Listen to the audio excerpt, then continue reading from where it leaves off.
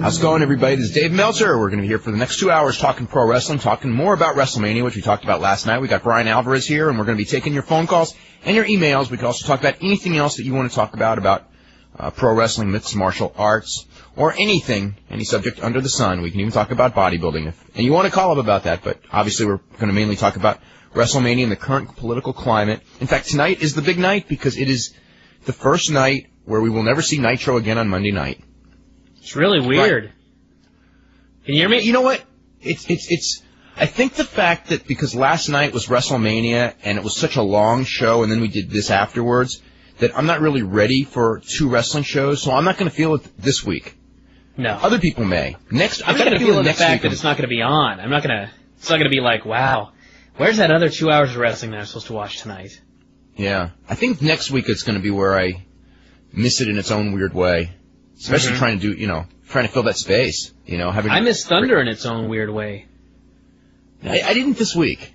Maybe I won't miss There was something about else. Thunder where it was on a Wednesday and the newsletter was done and it was kind of a day where I could just sit back a little bit and Thunder was on and sometimes it was just uh it was so bad that it was funny and it was just, you know, something to do on a Wednesday night and now it is no longer there. Yeah. Um, well, we can talk more about. Uh, you know what is interesting is today is uh, the response that I'm getting. A lot more favorable. I won't say more favorable because because all you know the top matches were very well received last night. But as far as like best match and everything, a lot of sentiment away from tables, ladders, and chairs, and towards Benoit and Kurt Angle. And I think it's one of those things where maybe people who think about it for an extra day you know, kind of, you know, like when it was over, when that show was over, I thought that tables, ladders, and chairs was the best match on the show. But when you think about it, it was kind of like the tables, ladders, and chairs was the same tables, ladders, and chairs spots, whereas the Benoit angle was like, you know, something really different. So maybe Yeah. that's what it is, and, and and maybe people, especially if you're like a real hardcore fan, it's like that's a style of wrestling that you know you might really like and you rarely get to see in this country. I was actually surprised too by the amount of feedback we got for the main event as the best match on the show. I thought that was kind of, I mean, it wasn't like it was a bad match or anything like that, but you had the tables, ladders, and chairs and Benoit and Angle and just everyone just going, man, the, uh, near falls in the main event and everything like that was just so great and it was the best match on the show and I thought, wow, well, they did it. Oh, the the drama was really good. I mean, I thought it was I thought it was a hell of a match. I mean, the one thing about you know, in, in, in comparing different matches and everything, it's like you know, Benoit and Angle would have had the hardest time because they had the most limitations. I mean, basically, with the exception of the ref bump, which I think worked against them anyway, they had to do it with their two hands and their two feet and without a lot of props. The tables, ladders, and chairs was 100% props. And Austin and uh, Rock, I mean, they had the outside interference and they had the whole storyline thing going for them, plus being in the main event. So, you know, if you talk about the guys who had the best match with the uh, what's it with the least help, that would be Benoit and Angle. But I don't know that it was the best match because, you know, that's one of the advantages of being in the main event. You know, is that you get you're allowed to break the tables, and that Rock Ang, um, Rock and Austin, their table broke early anyway, so they didn't get to do that spot. What happened there? It was like Rock was just laying on it, it collapsed or something. Yeah, that easily I don't what breakable table. Yeah, you broke like two minutes in. I was thinking like, well, that was obviously that was supposed to come on come later in you know the show with like a, a rock bottom or something like that through a table that we don't get to see. Oh, I don't know. Any, what other any other uh, thoughts on the show that we didn't talk about last night? Because we pretty much covered it last night, I think. Yeah, we pretty much covered everything. I still haven't watched the uh, first three yet because you kind of uh, you warned me that I really didn't miss too much, so I just figured I'd wait till after Raw tonight and watch that. So uh, didn't see it yet, but I think we pretty much covered everything else. Have you heard about uh, what's on Raw tonight? Because I actually have not heard anything. I didn't get anything, no lineup or nothing. Okay, I haven't heard the lineup yet either. Um, I don't even know where they're going for the next pay per view. I mean, a lot of people seem to think it's Austin Undertaker. I don't. I don't think that's where they're going. But um, I mean, they may be. I think it may be Austin and Rock again. But I guess tonight's show will probably at least set the stage of where they're going next. I got the impression that Angle and Benoit, everyone loved that match as far as uh, WWF higher ups. So I think they're Mhm. going to be able to do a program. I, in fact, I know that they're talking about doing a 30 minute Iron Man match on the next pay per view. That's you know maybe maybe they'll even talk about it on the show tonight. I don't know. That'd be awesome. Yeah. Uh, Man, when they came out there, it was like, um, I guess nine o'clock Eastern. It was six o'clock over here, and I thought, man, this thing's going till, uh, you know, it's going four hours. These guys are out here already. They're gonna get like half hour, forty-five minutes. I thought it was gonna be one of those deals where, you know, just for the hell of it, they go, these guys are gonna have a great match. Let's just give them a bunch of time, and It was only about 15 minutes, but it was a hell of a 15 minutes, and I thought, you know, if they got like 45 minutes or something, or even a half hour, just especially with the reaction that they got for doing the wrestling and everything like that, that'd be a hell of a match. Yeah, probably. The, the one thing, you know, Benoit matches usually are better under 20 minutes, though. And I, I, you know, it's like certain guys have better matches that go long, and certain guys have better matches that go short, and then other guys are, are in the middle. And Benoit's always been really a guy in the middle. Angle, um, have we ever seen what's the long? Angle, Angle's probably longest is probably about 25 minutes that we've seen. I think Angle and Mhm. Triple H went 25 minutes a couple months ago on pay per view, and that was a very good match. But it wasn't like I don't remember it being off the charts or anything. Um, it's tough to go over 20 if you're not in the main event. Um, I guess Benoit. I The guess, thing with that match last night to me was it was like it ended too early. It was like there was so much more that they could have done in that match. And I think that if they did a match where they did more of the mat wrestling there at the beginning and stretched out the uh, middle section and then did some more near falls at the end, they could go 30 minutes easy.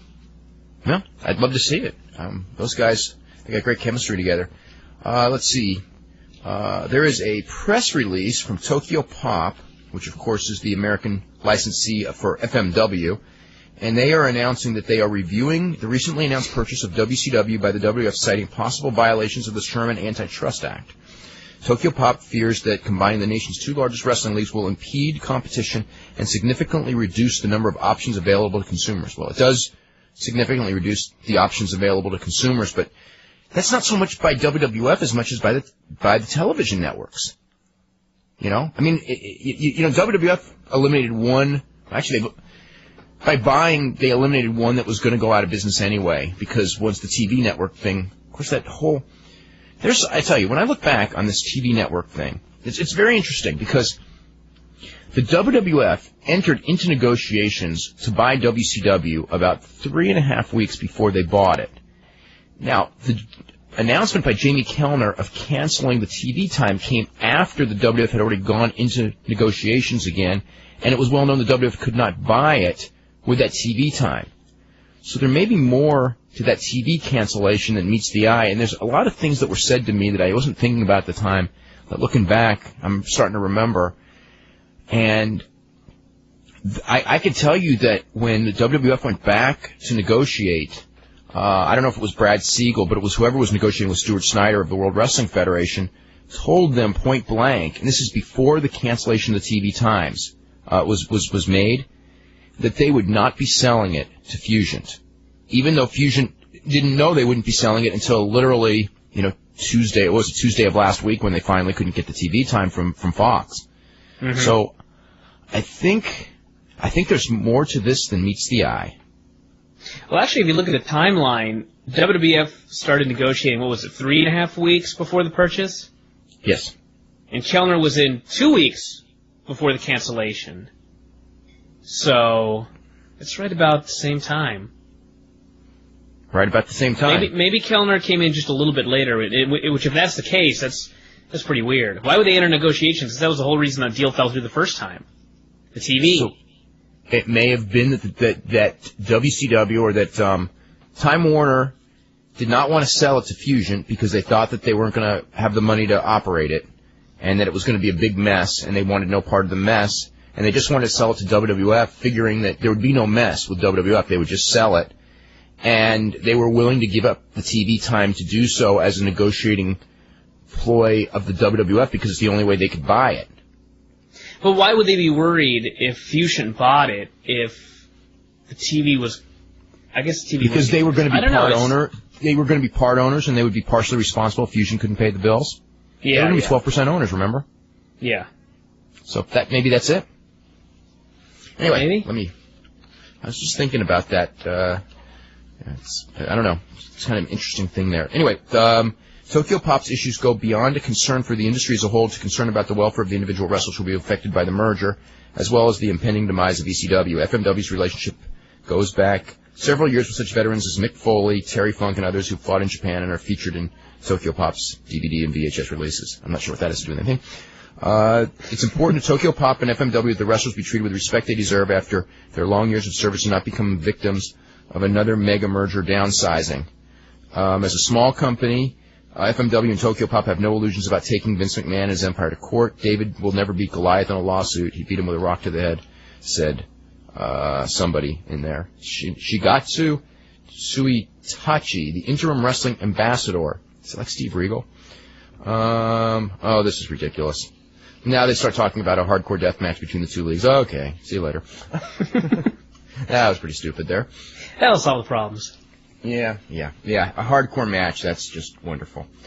Uh, let's see. Um, any other news to get to? There's like, I mean, literally, there's like no news in wrestling. I mean, except for the fact that we just had Mania and we just the biggest, we are in the middle of the biggest news story.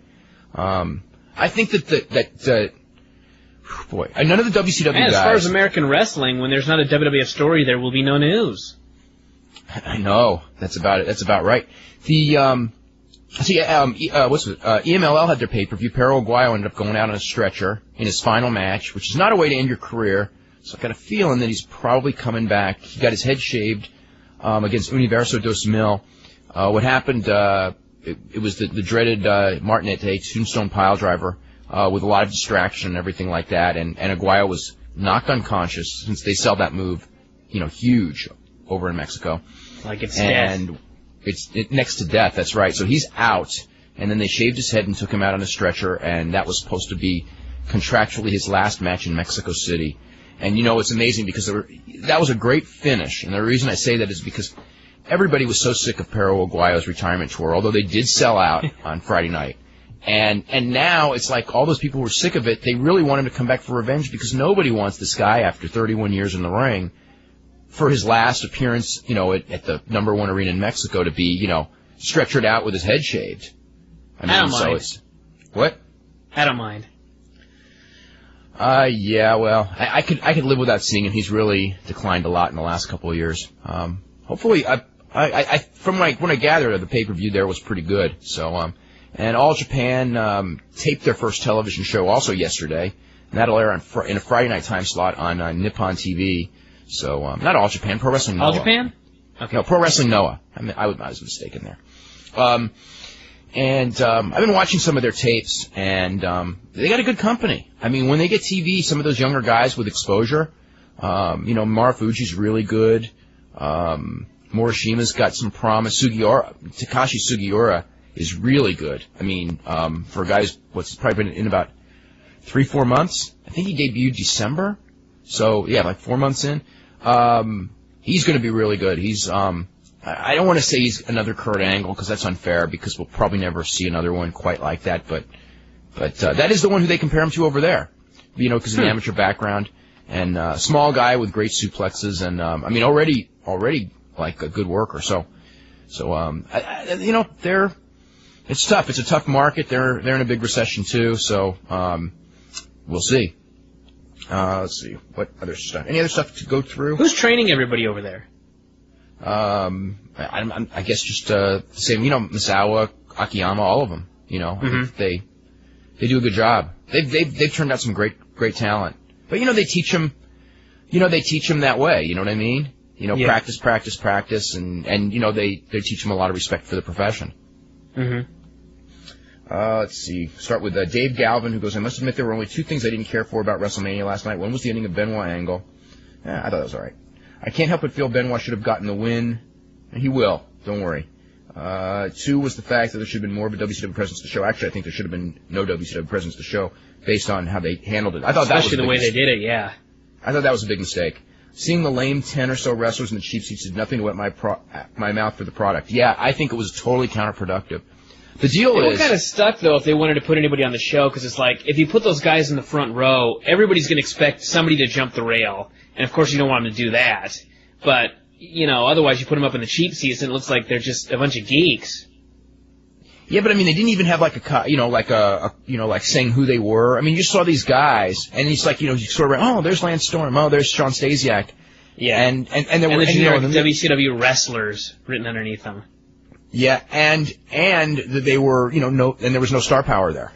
Yeah. Which to me is really, that's really going to be tough on this interpromotional thing because if they don't have the stars, I mean, you know, you can you can build some of those guys against WWF and have dream matches, but but not any of the guys that that they signed. Not of the, of the 24 guys they signed. You know, there's none of them. I mean, you know, Mike Awesome was bigger when he was in ECW. I mean, WCW mm-hmm. took him down a notch. So, and there's no big money in right now in Mike Awesome against you know The Rock. I mean, and I don't know that there, I don't know that there will be. I mean, you know, I mean he's all right, but anyway.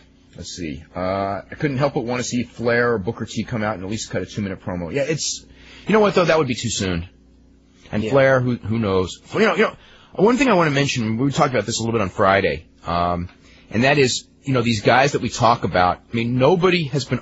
There's a lot of rumors about what guys are going to be offered as it comes to a buyout, and uh, what guys are going to be offered by WWF. And ultimately, you know, the guys are going to make their decision based on those two offers. You know, if they can make, you know, more money, enough more money by going to WWF, if they make less money and have to go on the road, work and take bumps, um, that's kind of a bad deal. And and that may be how it turns out. But nobody knows because no one's been offered buyouts and no one's none of those guys have been offered. You know, have, have really been talked with about WWF. WWF has not done a lot of work on this because they had to get re- ready for uh, WrestleMania. And in the next two weeks, they're really going to start working on this WCW project. You know, they aside from the 23 or 24 guys that they've signed, um, there's nothing else that's really official. I mean, there's, they have not signed any writers. They have not even really discussed it. Uh, referees. They need they need a front office. Um, Production crew. I mean, I think they're going to use a lot of the WF production crew an extra day on the Wednesdays. Um, uh, You know, one but- thing a lot of the uh, upper card wrestlers or the uh, high dollar guys need to think about is how much longer they have on their current WCW deal. Because if it's a guy like Goldberg that wants to do something in this business someday, and he's got like three years left, three years is a hell of a lot of time in wrestling. And if it's a guy maybe like, um, I don't even know how long Page has left, but say he has 10 months left, he can sit that 10 months out, and in 10 months people are still going to remember him. But uh, I think it's all going to depend on how long it's going to be. Three years is so long. Look at three years ago in wrestling. What was it, 97 or 98? It's like an eternity. Yeah, but the longer you're out, the more your myth grows. I mean, look at like when a guy like Warrior or Sid Vicious or those guys are gone forever. When they come back, people forget just how horrible they really were. Yeah, but there's And a certain amount of time where where the, there's such a turnover in the audience that it doesn't really mean anything. Mm, But Goldberg's got a name though. I think Yeah. you know, and and plus you got to remember three years from now there may be. I mean, you don't know what the state of the business will be. They may be begging for a guy to come in and draw some money, and Mhm. and the fact that he once did, you know how that goes. Like when when that's when that's how Sid keeps getting his jobs. Is that you know some Sid'll some be, companies Sid's another one that'll be back. I don't know about Sid being back. I not not not. I don't think that Sid's going to go to the WWF ever. You know, for one, he's old. He's got he's coming back from a broken leg, and and he did not leave there on very good terms. And you know, we talk about you know certain guys. You know, like the, the leopards don't change their spots very often. Sometimes they do. Sometimes people do grow up. But Sid, you know, I mean, what was it? Sid like walked out on that. Uh, you know, after the the Starcade pay per view, he walked out because he didn't like what he was doing on TV or something, right? Then he came back, they kissed his ass and put him in the main event on the next pay per view, and it's like that's granted that really speaks volumes for that company and why that company went out of business, but you know I the fact that come and gone from WWF though. yeah, but I think the last one was the last one. I mean, because you got to remember, it's this is a different WWF now. That WWF from before was was was very much like WCW, where they acquiesced to star power. I mean, Shawn Michaels is the perfect example. I mean, Shawn did all that stuff that he's doing now years ago, and you know, they just kissed his ass. You know what I mean? And kept bringing him back because he was a star. Now, you know, they, they don't even give him a second thought. It's like they don't need him. And they're, and and and uh, I don't see them. You know, Sean's got a lot more of an upside and a lot more of a name than Sid Vicious. I just don't see. Again, if business gets really terrible, of course, of course they'll get desperate and try to get him. But I really believe that um, I don't, I don't know what I don't know what he could do in this business anymore. Um, I mean, because the independents, you know, are not not a major factor. I'm sure.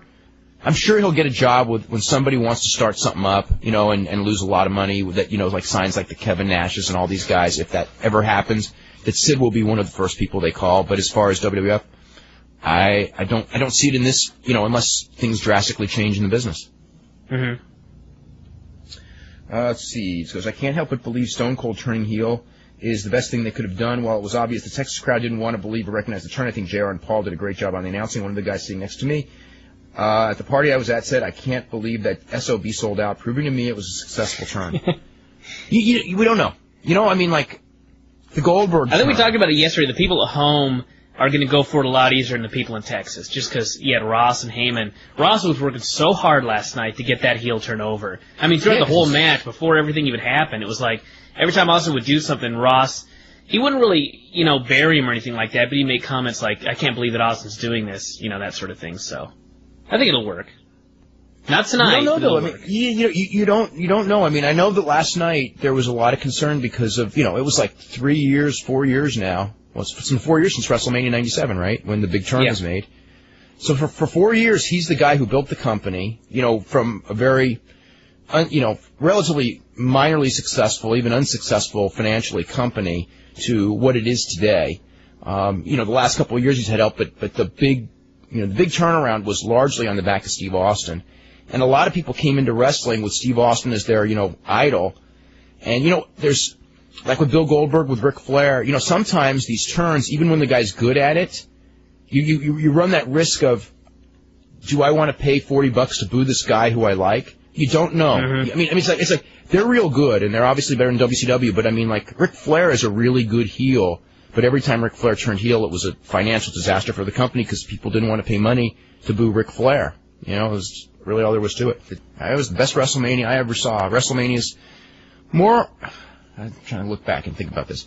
More often than not, they're disappointments. Some of them have been really good, uh, but uh, this this one was probably uh, had the highest expectations going in as far as a whole card. I think the the one, I, I mean, I know as a fan, um, the WrestleMania where Bret Hart and Shawn Michaels did the 60 minute match, the day before, a couple days before, for that match, I had really high expectations. I thought it was going to be one of the greatest matches I would ever see, and I don't think it was. Uh, but it was a, it was an excellent match, but it was not quite that good. Um, I didn't have that feeling for any of the matches on this show, but as a show overall, I mean, I expected you know far better than that night in L.A. So uh, this is There's just always so much expectation going into every WrestleMania because they hype it up forever, and it's like everyone expects it to be the show of the year. And it's one of those things where even if every year it wasn't the show of the year, just because it's WrestleMania, people would expect it to be. And this year they delivered yeah. top to bottom. This, this is for the uh, most part. For the most part, for the most part. I just got back from Houston. I traveled to- from Boston. Uh, few thoughts personally. It was the greatest wrestling fans weekend. The fan festival was awesome. I got to ride two roller coasters with Mick Foley at Six Flags. On to WrestleMania. It was the, by far the greatest WF pay-per-view ever.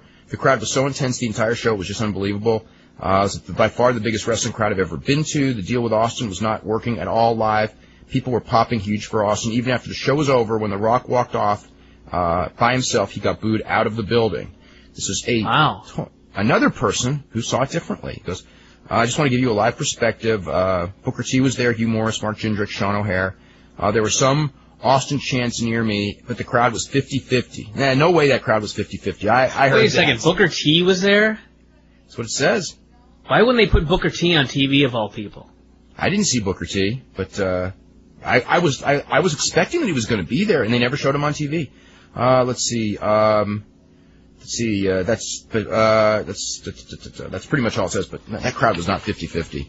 Uh, I mean, at never when at least when the show was on.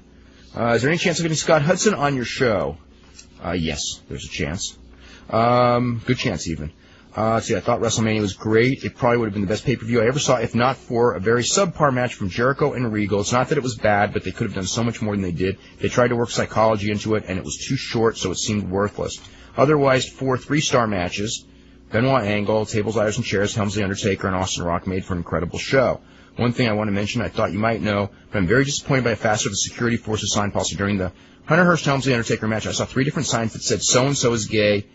Two of them were Triple H, and one was I don't know who else. Now I'm not going to get an ethical debate about homosexuality, and being one myself, I'm sure I picked up on it when others might not have. But it seemed to me having such derogatory signs in plain view of the camera for 30 seconds combined would be something they would try to avoid. I'm sure a lot of the homophobia it portrayed is prevalent among a lot of W fans, but still, why allow them to tick off many viewers who did notice and were offended? It seems like an unnecessary risk to me.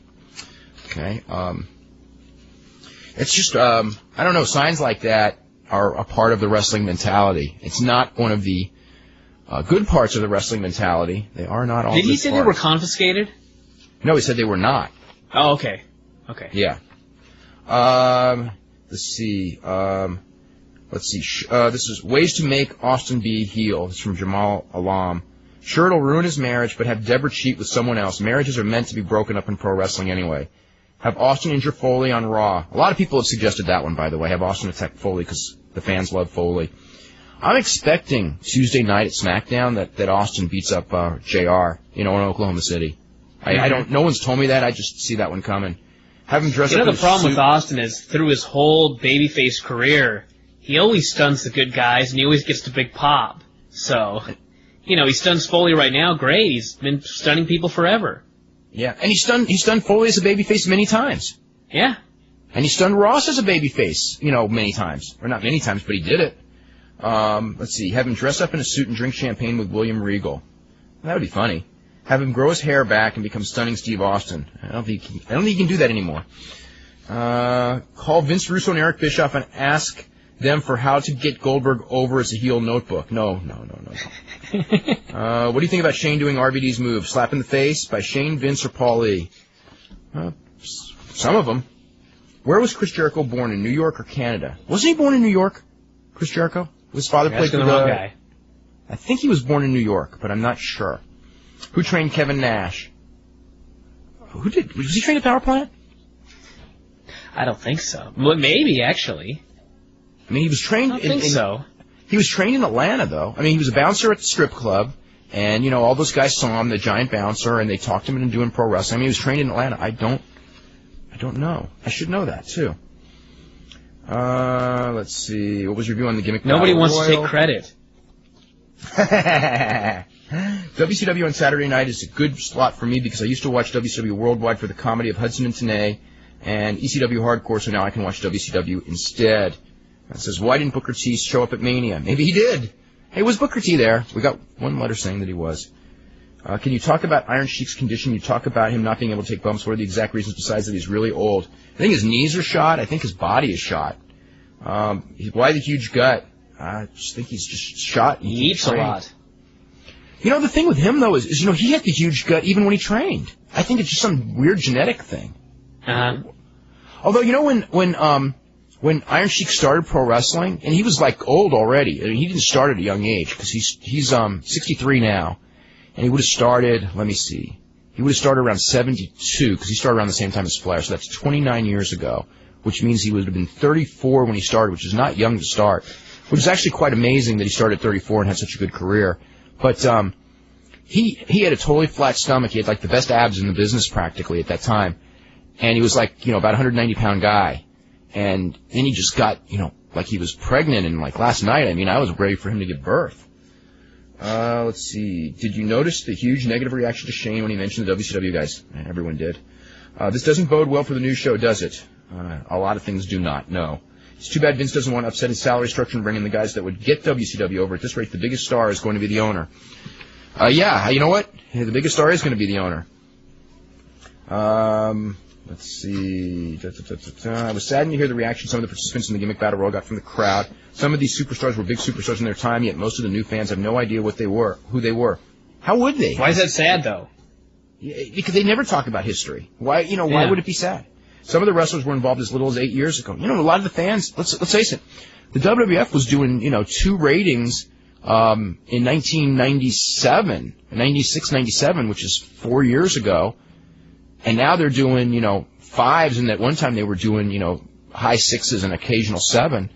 Um, so the vast majority of fans were not fans four years ago, let alone eight years ago. Uh, I wish that the new fans would pay attention to the past and legends like they do in other sports. I, I, agree. Yeah, but how do they do that though? There's no, you know, unless you go You know, back and find a bunch of really old videos that I don't even know if you can get them at the video store. You're not going to get it from the WWF. You're not going to go to the bookstore and find, you know, a WWF book on the history of the Federation or anything like that. Well, the other thing too is is like in WWF commentary. Except last night they did mention some old names as it fit into the storyline. But in, in, when you listen to a baseball game, you know they'll talk about your your stars of other generations. You know, like freely. So you you know like if you live in San Francisco, you know all of the stars in the history of the Giants in San Francisco, you know going back to the 50s, are talked about during the season if you listen to the game or watch the games on television. Um, they pay homage to their, you know, that's one of the things baseball has going for it. And football, you know, they they have all the films and everything like that. Basketball, you know, they do that. Wrestling, you know, has has killed its history, because the guy who owns it wants to rewrite it to his own needs, and um, you know, so whatever. Um, you know, a lot. Yeah, just an yeah. example. We were talking about Dory Funk Jr. last night. How's any fan that just started watching in '97 supposed to know who Dory Funk Jr. is? How are they supposed to get footage of him? You know, it's not going to be in a WWE magazine or anything like that, or they're not going to show footage of superstars or anything. There's nothing they can do. Or Jack Briscoe when they were talk, comparing him to Kurt Angle. Who's going to know Jack Briscoe today? I mean, yeah, if he showed up, everyone would just go, "Who's that guy?" Is it for certain SummerSlam will be in San Jose? Yes. Will you be attending if this is the case? Uh, that is a good question. Um, if, if we're doing a show right afterwards, like we did last night, I probably won't be attending. Or, but as as if if we don't, then I I'm sure I will. Uh, let's see. Da, da, da. There's an article on WWF.com about the gimmick battle royal. It says the reason that One Man Gang was not Akeem was because he could not fit into the Akeem costume because of all the weight he's lost. I didn't know that. Oh, he actually was pretty trim. Some of those guys, even like uh, John Tenta, looked really Tenta's lost a lot of weight. trim. Trim for Yeah. Tenta. Yeah. I'm not surprised, but saddened that Goon looked like a over. fan. Yeah. Uh, yeah, really. Um, da, da, da. Would you rate any match from WrestleMania 17 better than either Owen Brett or Heartbreak Kid Razor Ramon from WrestleMania 10? Uh, no, I don't think I would. I would rate both of those matches better than anything on uh, on the last night's show. Would you? No. Okay. Uh, it's from Ryan. Do you know Portland Wrestling's ever going to be putting on any more shows, and are you going to work there? I don't. I don't think they're doing any shows in the near future, and actually, I haven't even heard anything from Portland Wrestling, so probably not. Uh, let's see, where was Pete Rose? I guess they just didn't sign him. I guess they just figured that uh, they had other things to do. That, that the tradition has gone long enough, and there's just nothing new to do. Uh, let's see. Uh, everybody seems to be saying WrestleMania was one of the best pay-per-views ever, and it was awesome. But what I don't think is why nobody ever talks about ECW Heatwave '98 from top to bottom was one of the greatest pay-per-views ever. That was a hell of a show. That was. Uh, do you know what role Michaels was supposed to have at Mania? Do you know Bryan? I don't. You know, I don't know. I don't I know. have no idea. Um, uh, let's see. Isn't it ironic that they ignore Bret Hart in the WWF? I mean, last night's main event was had Bret Hart written all over it. Oh God, I know all those false finishes from the Bret Hart Steve Austin matches. And Oh, I know. From the that, they did the uh, Survivor Series finish, pushing up the turnbuckles in the Million Dollar Dream, Yeah. and the So- uh, the WrestleMania deal with him and the sharpshooter. Yep. Well, I mean, that's like the big vivid image they were playing off of. Yeah. And they never mentioned. It's kind of strange if you're trying to turn Austin heel, do that spot again. Yeah. Um, Al, who's the first? Who's the first caller? Because I cannot read that. Oh, Ray. Okay, Ray from New York is up first. Hey, Hey, Ray, what's guys. going on? Uh, hi, uh, Hey, this Ray. Is, this is Razor up in New York. Uh, just uh, wanted to ask you a few things. Um, first off, what the hell happened to the Gooker's outfit? In what sense? I wasn't. I guess I wasn't paying close enough attention. Maybe he lost too much weight to fit in too. the Gooker had no feathers left, man. The, Well, they the- they probably built the outfit about ten years ago, and maybe those feathers just kind of fell off. yeah, but well, he had the thing won. If it weren't for the Iron Sheik being too out of shape to go over the top rope, I think the Gooker should have had that one. I think think they they actually wanted to kept go- that Gooker costume for ten years. I'm Really? shocked. I, I mean, I'm shocked. You would think that like if it, I, I think probably would have burned. Guerrero. Vince himself would have burned it that night. I know. I, everyone forgets that that gimmick was like. I mean, I guess maybe they don't forget, but that gimmick was like the flop of all flops. Oh, I know.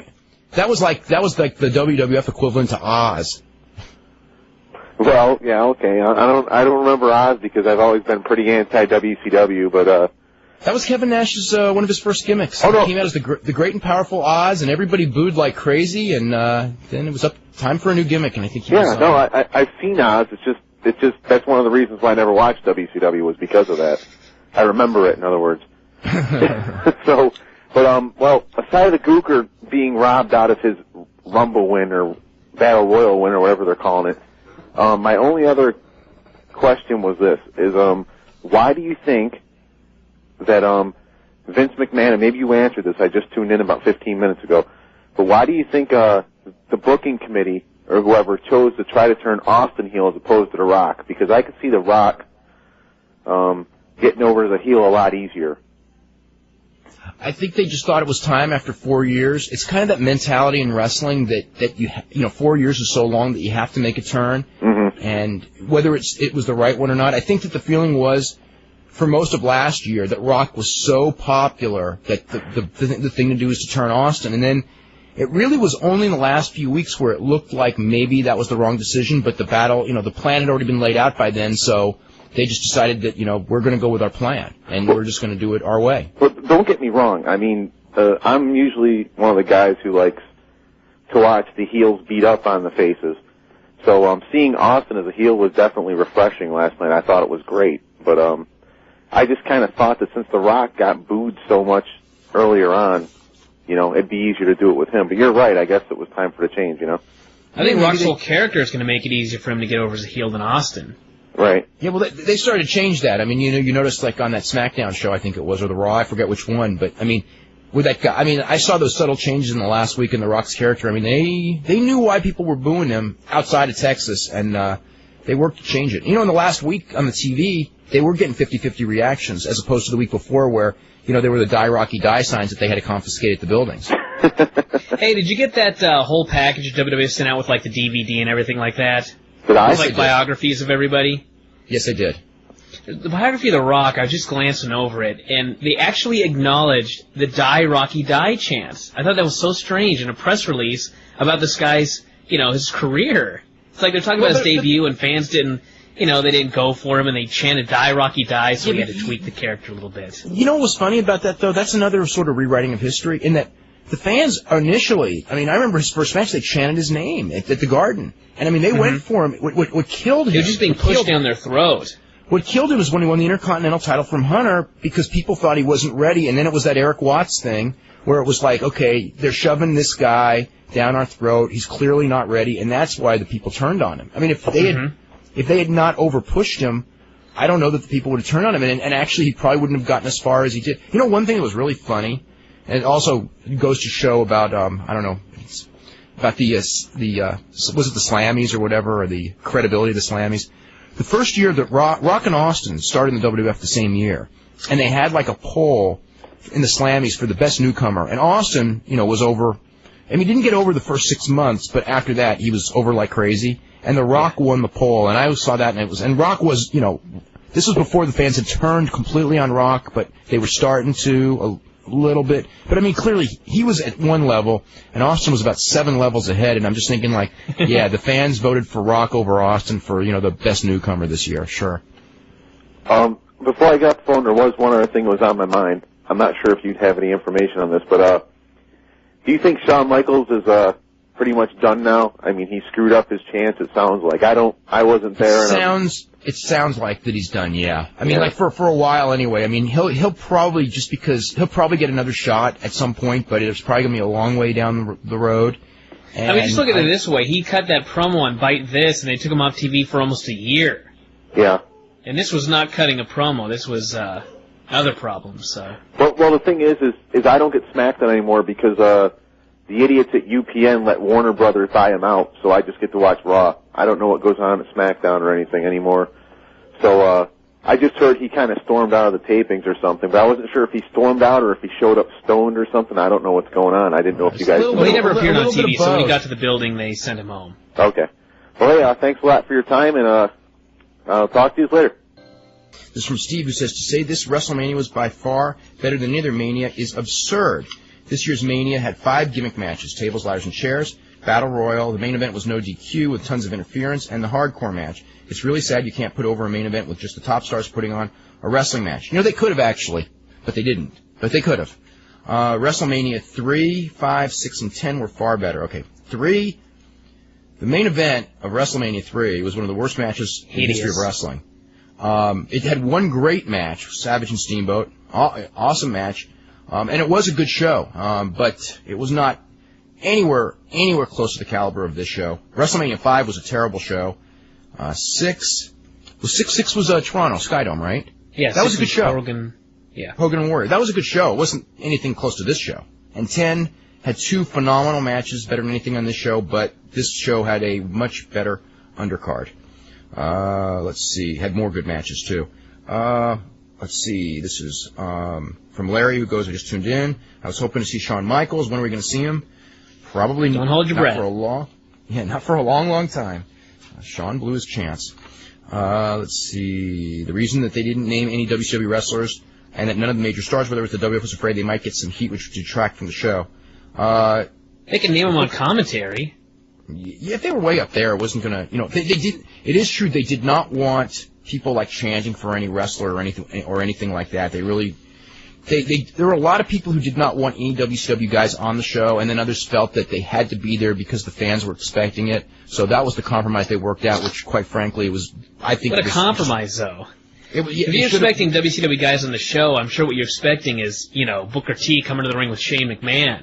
Not these guys just appearing on TV in the cheap seats, unidentified. yeah, no, added it nothing to the show and took away from those guys.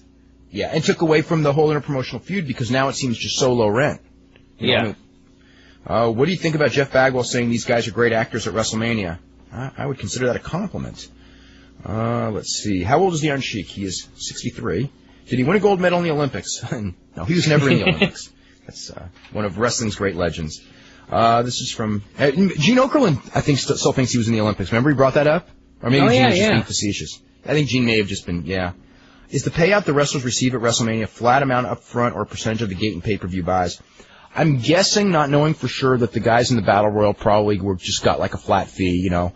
But uh, most of the wrestlers will get a percentage of the gate and the pay-per-view buys, except for the guys in that uh, heat match, which will only get a percentage of the uh, the live gate, not a percentage of the pay-per-view. It's from Dan who goes, I thought the main event was awesome. My friends, me and my friends have not popped from near falls like that in a long time. I was jumping out of my seats for each one. I love the heel turn, shot in the arm the WF needs. Austin's been a face for four years. It's time for a change. I think that the turn has already been moderately successful. That people were talking about wrestling at my school for the first time in months. Imagine the wonderment of WCW wrestlers looking over a crowd of 65,000 people, the total sum amount of their house shows for the past year. It's true. Um, let, us see. WCW did about, let's say they did about 100 house shows and averaged 3,000 people. So they did about 300,000 people for the year. Let's, but, but it's that, that's actually, oh, the thing is, you know, it was not that many years ago, three to be exact, that uh, WCW put 40,000 in the Georgia Dome, which isn't 65, but it's a hell of a lot of people. Not all that For a long ago. That for Nitro, for not even for not, not for WrestleMania exactly. And look at how many times Raw's gone to the Georgia. I guess Raw isn't based in Georgia, but look at how many times they've gone to the George Dome and But that doesn't matter. not even come They- they- close to that. Yeah, even, yeah, they usually do 22 to uh, about 26,000. That's right. I don't think they've ever. They, I think the first time they went, did they do 30 the first time? I think they did like about 20, maybe it was a little under 30. Yeah, it was So close. Yeah, Ross kept saying 30,000, 30,000, and maybe the real number was like 26 or 27. So yeah, they never did. They never did 40, which w, WCW did a little over 40 for the first one, and then that one, the one finger touch one, was like about 35 to 38. So they did a big one there, and then of course that one finger touch. It's all downhill from there. Yeah, that was that was a dumb move, and boy, I, re- I remember that night going, you know, you're going to come back here and you're not going to be able to sell tickets, and uh, that's kind of what happened. Uh, let's see. It's, someone goes, I thought WrestleMania was great, but the stupid ending of the main event and the waste of time of the women's title match. Uh, last night when Saturn came out with Eddie Guerrero, it looked like so much like Hulk Hogan, it was scary. Mm, I don't think it looked like Hulk Hogan. I thought it was Bagwell when I saw the top hat. Yeah, I know. Uh, Bagwell with a, I know. What will be the main event at Backlash? I don't know. We'll probably find out tonight. Uh, at this point, what will you do with Jericho? Turn him heel? Why hasn't WWF had any more pay-per-views in England? Because they do pay-per-view, they do British-only pay-per-views anyway. Um, not to say that they won't at some time, they may. Were they teasing the beginning of an Undertaker retirement last night? I don't think so. uh, let's see. He won. Yeah. Let's go to, let's go to the calls. We'll start with, uh, Matt in New Orleans. Matt, what's going on? Hey, how's it going, Dave? Bryan? Hey. It's going really good. Um, just you just brought up Chyna, and I just want to say that um, I think her ego is going to be absolutely out of control in the WWF, and I think last night the way she treated Ivory was so disrespectful that made me sick. It wasn't even Ivory. It was it was Ivory and everything that they set up for her for this match. The neck The neck injury. injury, you know, the big it's like- it's like- comeback. It's like I'm not selling. It's like I'm not selling. I, she didn't sell in the match, and she didn't sell her injury. hmm Yeah. Um, and that that just uh, so when I when I was listening to your show last night and you commented on that, uh, I don't know, it just made me sick to watch. As uh, I mean, uh, I'm an independent worker down here, just like uh, Bryan is up there. So, um, you know, I'm real conscious about how um, when you go over on somebody, you you do it in a respectful way, not to kill them. And just the way she laid across her, that really uh, that pissed me off more than anything on the show. Mhm. Um, I thought I thought the show overall was really great, though. Um, it it just lacks the one really standout match that puts it uh, like WrestleMania 10 had the two standout matches that were uh, uh, that made it stand out in everyone's mind. I thought there were three standout matches. I mean, there wasn't there wasn't a match, you know, like a Bret Hart Owen Hart match or that ladder match, but I, I meant like a match of the year candidate. I thought that the TLC was pretty close, and I thought that you know, you- they're, they're, they're, I mean, they're, you know, Austin Rock was was pretty darn good too. I mean, but you're right. I mean, as far as like the match of the year, I don't think we saw it last night. I don't think I think the Benoit Jericho ladder match was probably better than anything on the show last night. Agreed. Benoit Jericho, um, that was here in New Orleans, and uh, I watched it on TV. But coming into work the next day, I had several people there, and really they talked about that um, more than anything else. So uh, that match was over huge live, I guess. Um, I, I thought that was the best match of the year in the WWF so far, in my opinion. Uh, maybe, maybe. Um, but uh, I'm not Um, going to take that in um that in um I think Austin and um Austin and Hunter at the last pay per view was awfully good too. Agreed. Um, what do you think? Uh, as far as the uh, uh, Austin heel turn, um, I got to say the only way they're going to turn him fully heel in Texas if he comes out and just acts. Uh, he can't be Stone Cold. He's got to do um, do something like come out in a shirt and tie. Um, you know, if he if he blows off Texas and says he's moving to Connecticut, um, really he just you know if he comes He out drinking a soda, he'll get he'll get heat. All he, all he has to do is insult Texas and he'll get heat. Yeah. Yeah. I don't think they need to worry about Texas so much as just the rest of the country. I mean, if it becomes a deal where he's a big heel all over the country and then he gets cheered in Texas, it's not going to matter for those two days they're there. Well, I, I think I'm just saying that uh, uh, if he if he uh, tries to turn he, you know keep turning heel tonight, and the fans live don't buy it, I don't think they're going to buy it in a lot of the other places, when, like when they do SmackDown on Tuesday. Mm-hmm. Um, Now they're in Oklahoma on Tuesday. Where's Smack? so- Oklahoma, right? Oklahoma City, yeah. Yeah. Uh, but uh, thanks for taking my call, guys, and uh, been reading the Observer since '96, Dave, and you do a great job. Thank you very much. And I appreciate couldn't have caught my letters too, so I'll keep reading. Thanks a lot. Okay, let's go to Dan in Chicago. Dan, what's going on? Hey guys, what's going on? Saw Hey, WrestleMania last night. Uh, I like the Austin heel turn. The I know a way to get Austin over that would uh, you know make him a good heel. He could shave the people's eyebrow.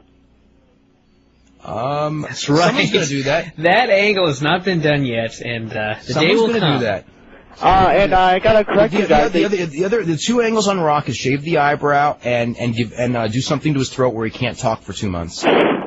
No, really, that's awesome. You know, Yeah, just- that'd Yeah, but you know what can't- though? The thing with The Rock is just standing there with a mic in his hand. yeah, He'll, uh, you know, he'll get just a tremendous ovation. yeah.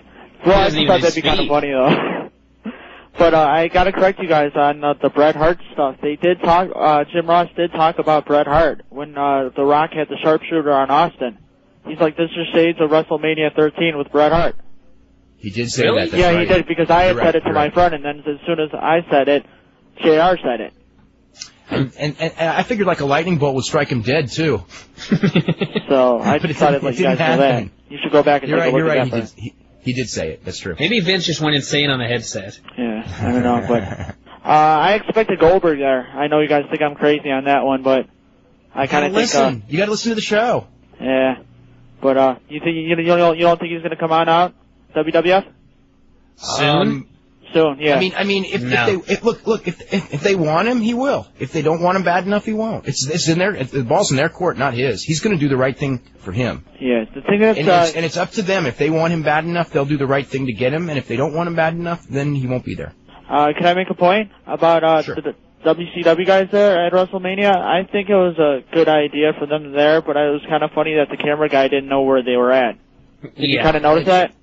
Oh, it was like it was like watching WCW. Yeah, It was so hokey. It was like they had the WCW camera crew there filming that spot. Yeah. Like they couldn't Couldn't get a guy up there ready to go for when Shane McMahon introduced him to just be right there Yeah. for a close-up shot. Instead, Yeah. it's like panning around the crowd. Where the hell are the guys at? It's horrible. And I actually got a, an idea for Stacy Keibler. He, she could go after Trish and be a part of Vince, and because Vince is going to probably be looking for a new woman. Well, not not at um, not at this point, I don't think, because um, they're trying to keep them separate for a long, long time before they do any interpromotional stuff. And uh, you know, excuse me if this question's been asked, but uh, any news on Hulk Hogan yet, or is that done? Um, I think he's. I think he's really gonna be scrambling. I heard. I, I heard he. Uh, what? He called up Inoki or something. Wants to wrestle Inoki. Yeah, I, heard, I read something about that. Yeah. Yeah, he's desperate to get his name out there. You know, Hogan. From what I gather, um, there's nothing going on with Hulk Hogan right now. So. I mean- I don't know what's going to happen to him. If they're gonna bring back Bobby Heenan and Gene Okerlund, and they don't bring Hogan back, isn't that? I don't think they're bringing back Heenan They're and not Okerlund. bringing Heenan and Okerlund. I, I sensed last night was was pretty much a, a lock that they're not going to bring him back from Okay. the way they treated him. I mean, that was just like they portrayed them as you know part of that generation with Blassie and you know kind of like the old the old guys. It's nice to see him once. Now we're never going to see him again type thing. Okay, what do you think of Sting? You think uh, the Stinger will come back? I highly doubt it. You don't think so? Because the way he acted on Nitro, that he said nothing's for sure. Don't you know? Don't count me Yeah, out. that's because nothing's for nothing's for sure. Because It's the same nothing is for sure, but still. Hey, if- I mean, this if- guy, if- he's doing acting, he's making tons of money to not wrestle, and his whole career, or I can't say his whole career, but the last several years of his career has been built on not working, so mm-hmm. he's not going to want to come back and take a pay cut and go on the road 200 days a year or whatever. It's just, why do it? Okay, and then my last point, then I'll let you guys go. Then what's the point of this whole WCW thing? They're not going to have nobody. We're wondering what that same like. thing. That's what we're all we're all wondering how this is all going to turn out. It's not turning out. Uh, it's not going. to It looks like it's not turning out so great just yet. No, I mean they're recruit, recruiting WWF guys that look like on SmackDown on Tuesdays. So I mean, if they're going to do that, bit- then boy, boy, if they end up with like Billy Gunn over there, then we know it's. If Billy Gunn versus Shawn Stasiak is on the first show, it's dead. for, then then the, it's the first week, and then that's it. Then basically, huh? That'll be it. All right, guys, thanks of- for your time. Okay, you're very welcome. They they got a lot of strikes going against them. That they, between the bad time slot and uh, and no marquee wrestlers.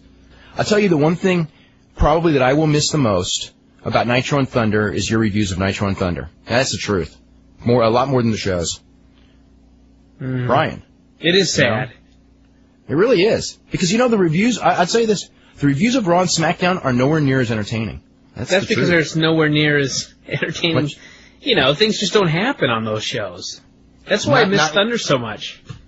not with that level. I used to have so much fun writing those Thunder reviews, and now the show's gone. I used to do that. People used to tell me that the best part of the Observer was the reviews of Nitro. This was like two years ago. And then all of a sudden, I just woke up one day and I go, you know, they're going out of business, and I just can't, I just can't be as funny anymore. Because you know, all that whole time when they were on their way down, I was thinking this company's going to be around forever. Turner's never going to sell it, so I'll just have fun with this horrible product. I mean, it was so horrible. And then when I realized that you know all these people are going to be losing jobs, it was just like, oh, it's just all I could do was be sad writing my Nitro reviews after that point. Uh, this is from Brendan who goes, uh, the crowd chanting holy shit after Triple H was chokeslammed on that porta pit mat. What's up with that? They were right there. They could see them. That was weird. Yeah, but You're you right. know what? A lot of the people, there's 6,000 people in the arena, 55,000 couldn't see where he landed. I mean, when he first went off that thing, he just like disappeared. I thought, man, I wonder what he landed on. And they didn't show the replay for a while. Then they showed just a shot of him lying there. And whatever he was lying on, it looked like it was, you know, the cement with carpet over it. I thought, oh my god, I can't believe this guy took that bump. And of course, they had to absolutely kill it by showing a replay of him landing on the big trampoline. And actually, it was a porta pit. That's what they call in gymnastics, a porta pit. Yeah. His funniest moment was when Test was tangled in the ropes. I, I thought it was kind of sad because they had to break character, Guerrero and uh, Saturn, to get him out. I mean, it wasn't so much he was caught, but that poor referee was like having a, a heart attack because he knew he couldn't open the ropes. And it's like, oh And then my god. Eddie. First, Eddie's punching him, and then Eddie goes, "Well, I'll just go help him out." Yeah. I was just so funny because he's just going there like, you know, they can't help me because that'd break character. And we're here at WrestleMania and I'm going to be remembered as the guy who couldn't get Test's leg out. Uh, it, seems, it seems that the Big Show and Kane look the same size. Not the same weight. But, uh, they, well, you know, Kane's got those big lifts in his boots. Um, that's why. Uh, Big Show actually is several inches taller than Kane. How old is I'll- Kane now? Like 33? In that range, I would guess, yeah. Maybe 30, 31, 32, Ross 33. was just talking last night about um, the bright young star Kane, and he may be the future of the WWF. And I was thinking, this guy has been around forever. I didn't realize he wasn't that old when he got the gimmick. Yeah. I hope, uh, I hope he's not the future of the WWF. I hope not. Uh, let's see. Um, how long has Bryan been wrestling, and what style does he employ? Where can I get a tape of him in action? Uh, you can get tape Tapes in are up on the Brian. website, and I think my first match was August '98. No, I was watching the I was watching your tape, and they said that you're like a eight or eight or ten year veteran. That's wrestling for you. I thought the same thing actually when I was standing in the ring and Ken Hamlin goes, "Here's uh Chico's an eight year veteran of the sport," and I was looking around going, "Where's the other Chico here? Who's he talking about? Eight years." The best one was we did the show this weekend, and uh, I don't know what the hell happened, but the guy we had like a, a professional DJ doing the ring introductions, and he introduces me like it's like Chris Alver, and I didn't even know if I was supposed to come to the ring because I didn't know who Chris Alver was. And my music was Lord. playing. I just went, "Oh well, what the hell? Who cares?" Just, well, I got Michael. That is indie here, so- wrestling for you. Yeah. Uh, The best was the day I was announced at 290. That's funny. Oh, let's see. Ten ways to get WCW over. Have uh, WCW wrestlers shoot Gil- Gillberg on the debut show. Uh, play old tapes of Nitro on TNN. Crucify Eric Bischoff. Huckster versus Nacho Man. Yeah. Have Shawn Stasiak tape WWF pay-per-views illegally and play them on the show. I like that. That's cute. Uh, have have a first 500 fans who come to the arena dressed like a security guard get knocked out by Buff Bagwell contest. uh, that's kind of cute. Uh, the winner of the Tough Enough contest becomes a WCW superstar. Now, actually, that one is too likely to happen. Uh, have Shane Helms give David Arquette the vertebreaker until David Arquette uh, has to take the move wrong. Uh, use that angle to get David Arquette over as the top face, and uh, bring in Vince Russo to be the top face. Yeah, I, I can't blame David Arquette for any of that stuff. Like David No, Arquette nice came to the arena and said, "I will not do this match unless I leave as champion." Yeah. Um, yeah, no, David Arquette's a nice guy. It was just their stupidity, and he was embarrassed too, you know, to to, to get, take it because he knew he, you know, he didn't Yeah. deserve it, but whatever. Um, let's see. Just got in from Houston. WrestleMania was awesome. It was not 50-50. Everybody was training for Austin. I went to the Access Saturday night, and it sucked. There were so many people in there you couldn't move. I talked to Gillberg, who was walking around. He told me he was supposed to be in the Battle Royal, but they took him out because they were afraid people would chant for Goldberg. Well, That's there's your answer. There's that's the story, and that's a that was a smart move on their part. Um, probably they listened to our show, maybe not. Probably actually, and I- I think they made the right move. Let's go to Zach in Houston. Zach, what's going on? You guys, Exactly. that was the worst Motorhead show I've ever seen. They did one song, and the rest of the night was sweaty men groping each other. Sounds like every Motorhead concert. Good one. But in all seriousness, I had a lot Hey, of fun. have you ever listened to Motorhead before? No, I haven't. That was just a joke. Uh, I was just wondering if uh, the, that guy knew the words to the song that he was singing. I Everyone in the know, room with me was like, "This guy doesn't even know the words." Yeah. But anyway, uh, last night was a good show. The WCW guys actually had worse seats than me. Um, I, I would like to say that the Austin heel turn wasn't lost on everyone in the crowd because there were some some kids like eight and nine years old sitting by where we were in the second deck, and I thought they were going to start crying. Mm. Maybe we That's what shouldn't have rubbed it in so much. Y- yeah. No, I'm kidding. Well- but um, I do have a couple of things. I'll get to them quickly. Uh, first of all, has the WWF ever really given y'all an e- explanation as to why they won't let talent do your show, but they'll let let them do the law, which you're involved with? Because they don't like me. Ah, Is that really why? No, no, not at all. Oh, I didn't know. No, might no, that- off, but Tommy- I know. I, I, it's because the law the law is also broadcast on radio, and if we were broadcast on radio, I think that they would probably still not let their talent come on the show, but they would have they would not have as good a reason. yeah. Uh, also, is Noah going to be showing clips of matches, or are they going to go the All Japan route where they show like one long match every week?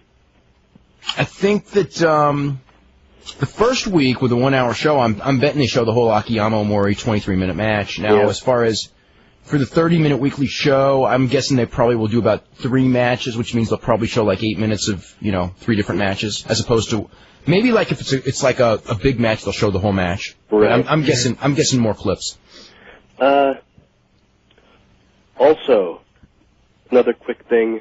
After last night, I think they need to pack Chyna up and send her away. And I know it's not going to happen. After but, last night, well, I've thought that for a long time, but last night was like, the the one glaring incident where you you'd have to be blind not to see that she just doesn't belong. Mm-hmm. I, I think that She's not a team player. yeah, That pinfall really did anger me. yeah. Me I mean, too. the power bomb. I- I the mean- power bomb. I still would have hated the match, and I would have thought it was horrible. But when she lifted her up, the first thing I thought was, "Oh my God, Ivory's going over." And then she gives her the Ultimate Warrior press slam. I thought she was going to do the uh, running splash off the ropes. Instead, she just lays on her. And that, I, oh my God, I was But so the other thing also is is like she she okay she's going over in a squash way and she still won't even give her any you know offense. Mm-hmm. You know I mean I mean She got hit with a belt. That was it. And she barely even sold that. Yeah. What's she gonna have to do? Shoot on her like Rick Steiner, or not shoot, but beat her? Uh, I think I, I I think that she's not going to sell for anyone who's not who doesn't have size. I really don't because she you know because Animal and those guys all sold for her so she figures that you know she's you know she's like the Ken Shamrock of the women yeah. except except except it's real. that it, it just bugged the heck out of me that they took two of the least attractive and least talented women they have and put them on the show. And then Well, left that was off. the story. That was the storyline for Chyna when, when you know they took her off for the. You know, we should Yeah. be thankful they took her off the TV for a long time to build this match. True. That's true. We, Oops, sorry. But she was doing the she was doing the uh, book signing though. If she hadn't been doing that book signing, we would have had to see her every week doing rehab. Oh, God. yeah. But No, I, we wouldn't because she would have she would have quit selling the rehab after like the True. second segment. Mm. She would start "Ah, doing need uh, just exercises to plug her video. You ever seen a, com- a commercial for that exercise video she does? no, I never have. Oh, Just seen I've, I've seen the um I've seen the um what's it called the um print ads for it, but I've never seen a TV commercial.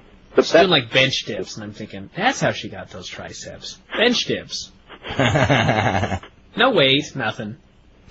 one more thing, and then I will let y'all go because I know this is like the the second biggest show of the year after the WWF acquisition thing, and that is, uh, oh gosh, I forgot. Now I remember. When is that DVD coming out with Dave and and Jim Cornette doing commentary? Actually, real soon. Like um I I, I just got like a, a note from them. I, I mean I'm thinking within a month. Great, because I need. I mean, I've got all the WWF DVDs. I've got the one Pride DVD I've found, and the FMW discs, which are great as long as you leave the American commentary off. Well, this one I don't know so much about. Like the the, the matches are all '80s matches. Yeah. Yes, If, if you like '80s Memphis, you'll like it. If you don't like '80s Memphis, you won't. But Jim Cornette is really, really good. Not, I mean, funny and insightful. I was just trying to keep up. I was just trying to keep up with him. He was he was really he was really on uh, Yeah. for most of those tapes. Well, I will let y'all go. Congratulations, Bryan, on finally getting billing in the ads, Oh, and have Dick Beyer on again. Uh, hopefully, we will. All right. Have a good All right. day. Okay, thanks very much. Uh, let's go to Ed in Texas. Ed, what's going on? Yeah, Dave, I wanted to ask you about uh, Corporal Kirchner. I know he wasn't in the Battle Royal, but I had read something about that he had tried to physically attack Vince McMahon at one time. I don't know. I don't know that story. I mean, it may be true. It was so many years ago. Um, I don't. I don't remember what what got him bounced from the WWF. Just don't remember. Okay. And also, I wanted to ask you, what's going to happen with the women's division? Are they going to turn Chyna heel so she can fight uh, Lita and Molly, or is it pretty much just dead? I think they're bringing in Victoria. Yeah, I think they're going to bring in Victoria to fight Chyna, and then you know Lita's going to have to wait her turn. Uh-huh. Boy, that's going to be that's going to be a, an interesting game when the time comes because you know obviously Lita's going to surpass Chyna as a star. She probably already has, but in the pecking order she hasn't. Uh-huh. And when that time comes, I wonder if uh, how Chyna is going to take. You know, Uh, I think she might try top. and uh, sabotage her like she did with the cat and the king. Um, Well, we'll know if something happens to Lita when that time comes. We'll know. it ain't gonna happen. She ain't gonna get away with it because the cat was totally dispensable. Yeah. You know what I mean? Lita's not. She Yeah, I tries think Lita's more play. over than she is now. Lita's more over than she is, and if she tries a power play on Lita, she'll sh- it'll backfire on her. That's my prediction. Okay, and one final thing I wanted to ask about uh, Spike Dudley. You had mentioned that you probably wouldn't do the job for what they're paying him to take the bumps that he does. And I was No, just, I, I definitely wouldn't. Are you kidding? and what I was wondering is, since he's, he came into the WWF as a Dudley, does he automatically get cut into the Dudley profits on the shirts, or does he have to wait till he gets his own shirt? I Probably think that he shirt. probably won't get get, get into the. Uh, I think he probably won't get a, any Dudley merchandise at least for now until maybe in a year. You know, if he's a more, you know, maybe maybe, but I would think not now. No. Okay. If they do like a Dudley shirt and his face is on it, I'm sure he will. But as far as like the general Dudley's merchandise, I doubt it. Okay. And uh, since the guys like uh, Nova and Chetti, who they've been getting the dark the dark matches, do you think that they're going to go to WWF, or you think they're going to hold them back till WCW? Uh, they're more likely to get into WCW um, because WWF is all full for spots. So um, yeah, I could I could see it, or maybe um, you know, I don't know. Yeah, I could I could see him in WCW. I could. Yeah, I think Nova would Chet- be pretty good there in WCW. No, Nova's a hardworking guy. Chetti, I'm, I- I'm not sold on Chetti. I, I, I was when he when he first started. I thought that Chetti was really going to be something, and then I, I don't know. I think as he he got out of shape, and it's kind of like in this business now. There's a certain mentality that I mean, everyone knows, for better or for worse, the rules. Mhm. And and you know, if you don't have enough discipline to you know keep, I'm not saying you should look like a bodybuilder because the guys who do that unfortunately do very unhealthy things to get to look like that. But you know, there's there's there's a difference between a bodybuilder and and and looking, you know, like just being in shape and and Chetti to show up at like a tryout and not in shape. That's kind of something where, from their aspect, from Titans' aspect, they're going to go like, I mean, they'll hold it against him because that's just the rules of the game right now. hmm Okay, and um, you you were just talking about uh, Jim Cornette and uh, the, those kind of uh, tapes. Uh, somebody was telling me that you were involved in uh, in a match or something in Smoky Mountain with Wade Keller. No, what it was was I think Jim Cornette was like having fun one day and he booked a jobber tag team called Dave Meltzer and Wade Keller, but it was not us. oh, okay. He I was didn't- just see, I didn't fun think one so, day. but that, that's what somebody was telling me. I was like, ah, I got to check that out as they did. Nah, I never, I never wrestled, never will. Oh, Unless- maybe, okay. maybe, maybe with Bryan. I was watching Bryan's tapes, and um, I decided that like uh, after watching the first two minutes of Vince McMahon against Shane, that I could do better than Vince if I was working with Bryan because Bryan's actually a pretty good worker. Well, So- that's cool. Oh, But but you. but I'm I'm not uh, gonna lay there and take that uh, that finish. Mhm. That's a little too much for me. okay, the garbage guys, can uh, or the senton? The garbage can. Okay. Yeah. Don't worry, I ain't trying it anyway. I don't think I make it all the way across the ring. and a full bank of calls. Let's go through a couple of these emails here from Andrew in Ontario. Except for a few obvious mistakes, I think the WF production team deserves a huge amount of credit for the show. Last night, they truly made it look like a massive event. Yeah, they made it look like a, a just the whole aura Show of the year. was just so spectacular. And do you think they'll put on more matches like Angle and Benoit to educate the average viewer of that type of mat wrestling? I think it's more up to Angle and Benoit. If they want to do it, they'll do it, and if it, you know, if it gets over, it will.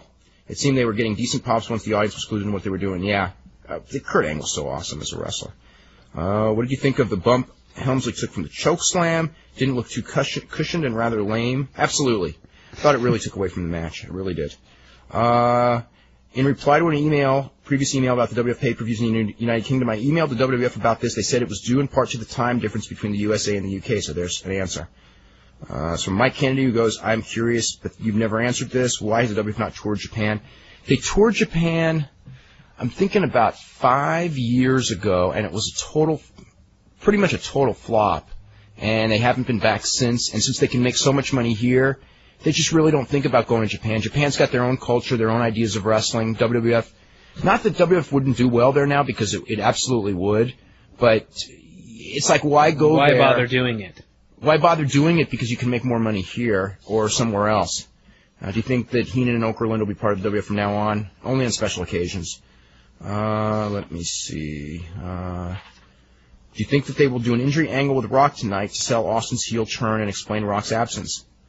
I don't know. I don't know. I don't think so. I don't think so. But uh, let's see. The Austin heel turn was horrible. How could they expect the Texas crowd to boom? I don't. Well, actually, I take that back. I know they did expect the, the crowd to boom at the end, and they were sort of trying to tell themselves that the crowd was starting to. Um, but I don't, know they really, I don't know they really were. But yeah, I know they were sort of trying to say that.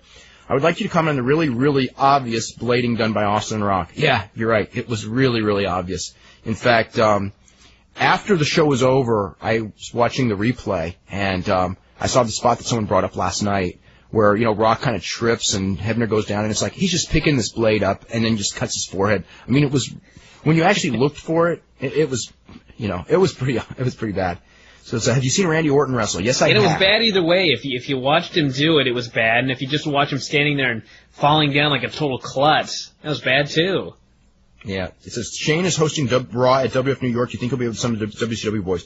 I was told that their flights were all to go home, not to go to New York. But um, you know, obviously they can change the flights. But that's what I was told uh, late last night. So that was the plan as of last night was for them not to be on Raw, and I don't think that they will be.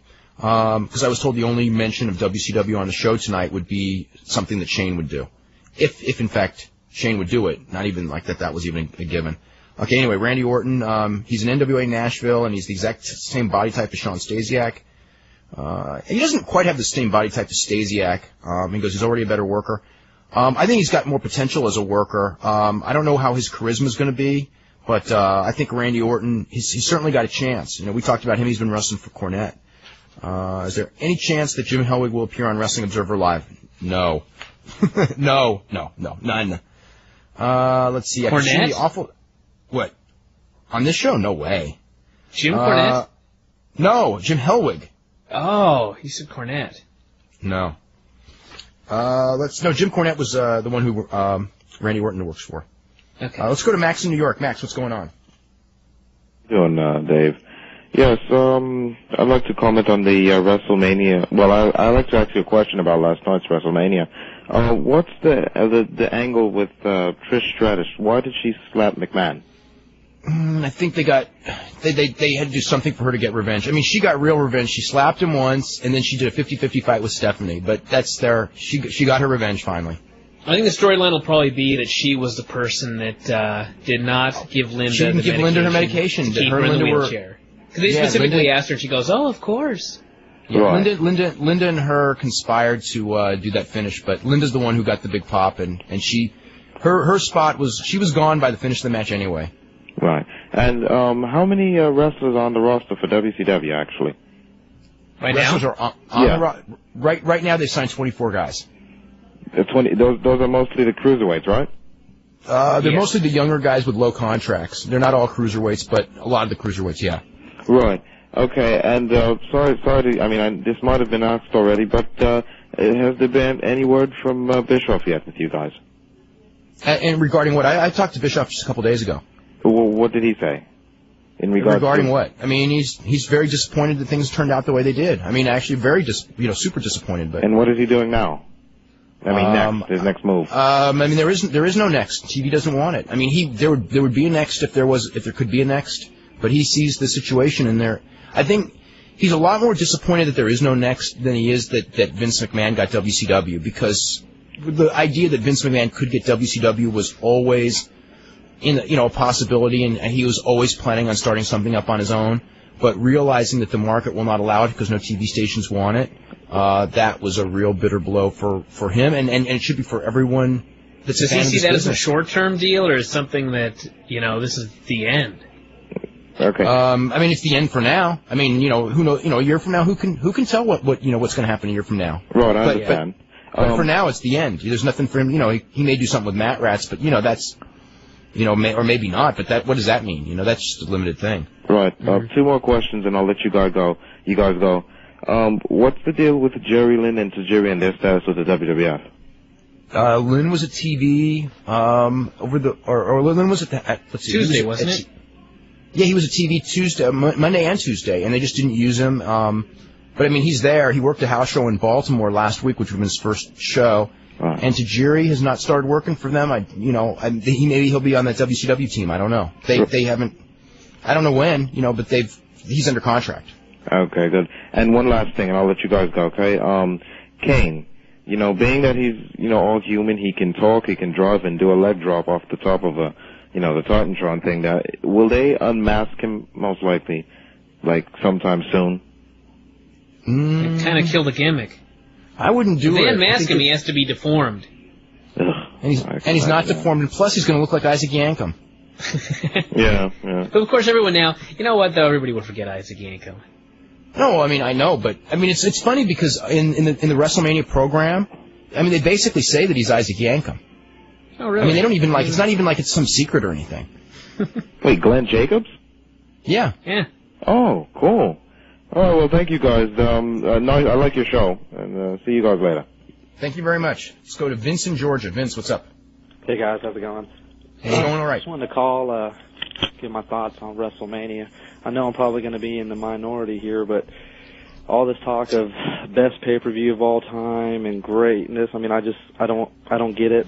Uh, it was a very good show. It was a strong show in some aspects, but you know, I, when I judge pay-per-views, I judge them from you know the first match to the last match, and you know, when you look at the whole card as a you know overview, of the Oh, there whole were thing, there were weak matches, no doubt about it. you know, I mean, out of the 11 matches, five of them, not counting the Battle Royal, you know, range from, you know, par to, you know, not really good, you know, and the other five, like I said, not counting the Battle Royal, you know, there was just a, there was a lot of holes in this show last night, and you know, I was watching the Ben Benoit angle, and let me just say this up front, you know, I would pay money to watch Benoit wrestle, but I was watching him last night, and this guy has no identity in the WWF. I mean, this week he's a face. A couple weeks ago he was a heel.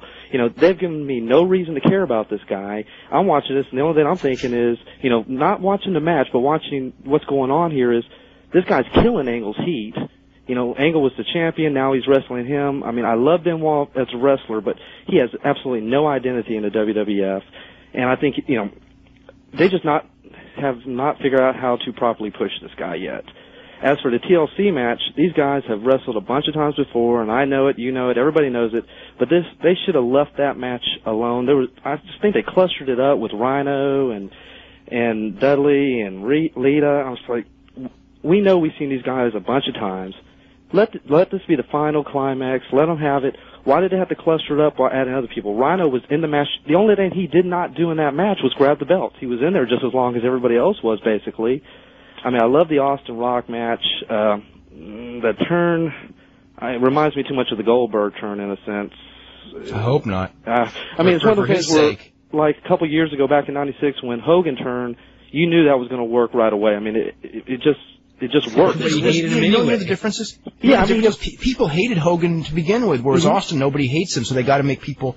This is like a flare turn. They got to make people Mhm. go against what they really want to do, and sometimes, you know, like with Goldberg, sometimes that just doesn't work. I know, and that's going to be the tough thing. Your question, my question, everybody's question is, how is this going to work? We're going to find out, you know, one way or another. But it's one thing that we know right off the top of the back. It's not going to be easy to do.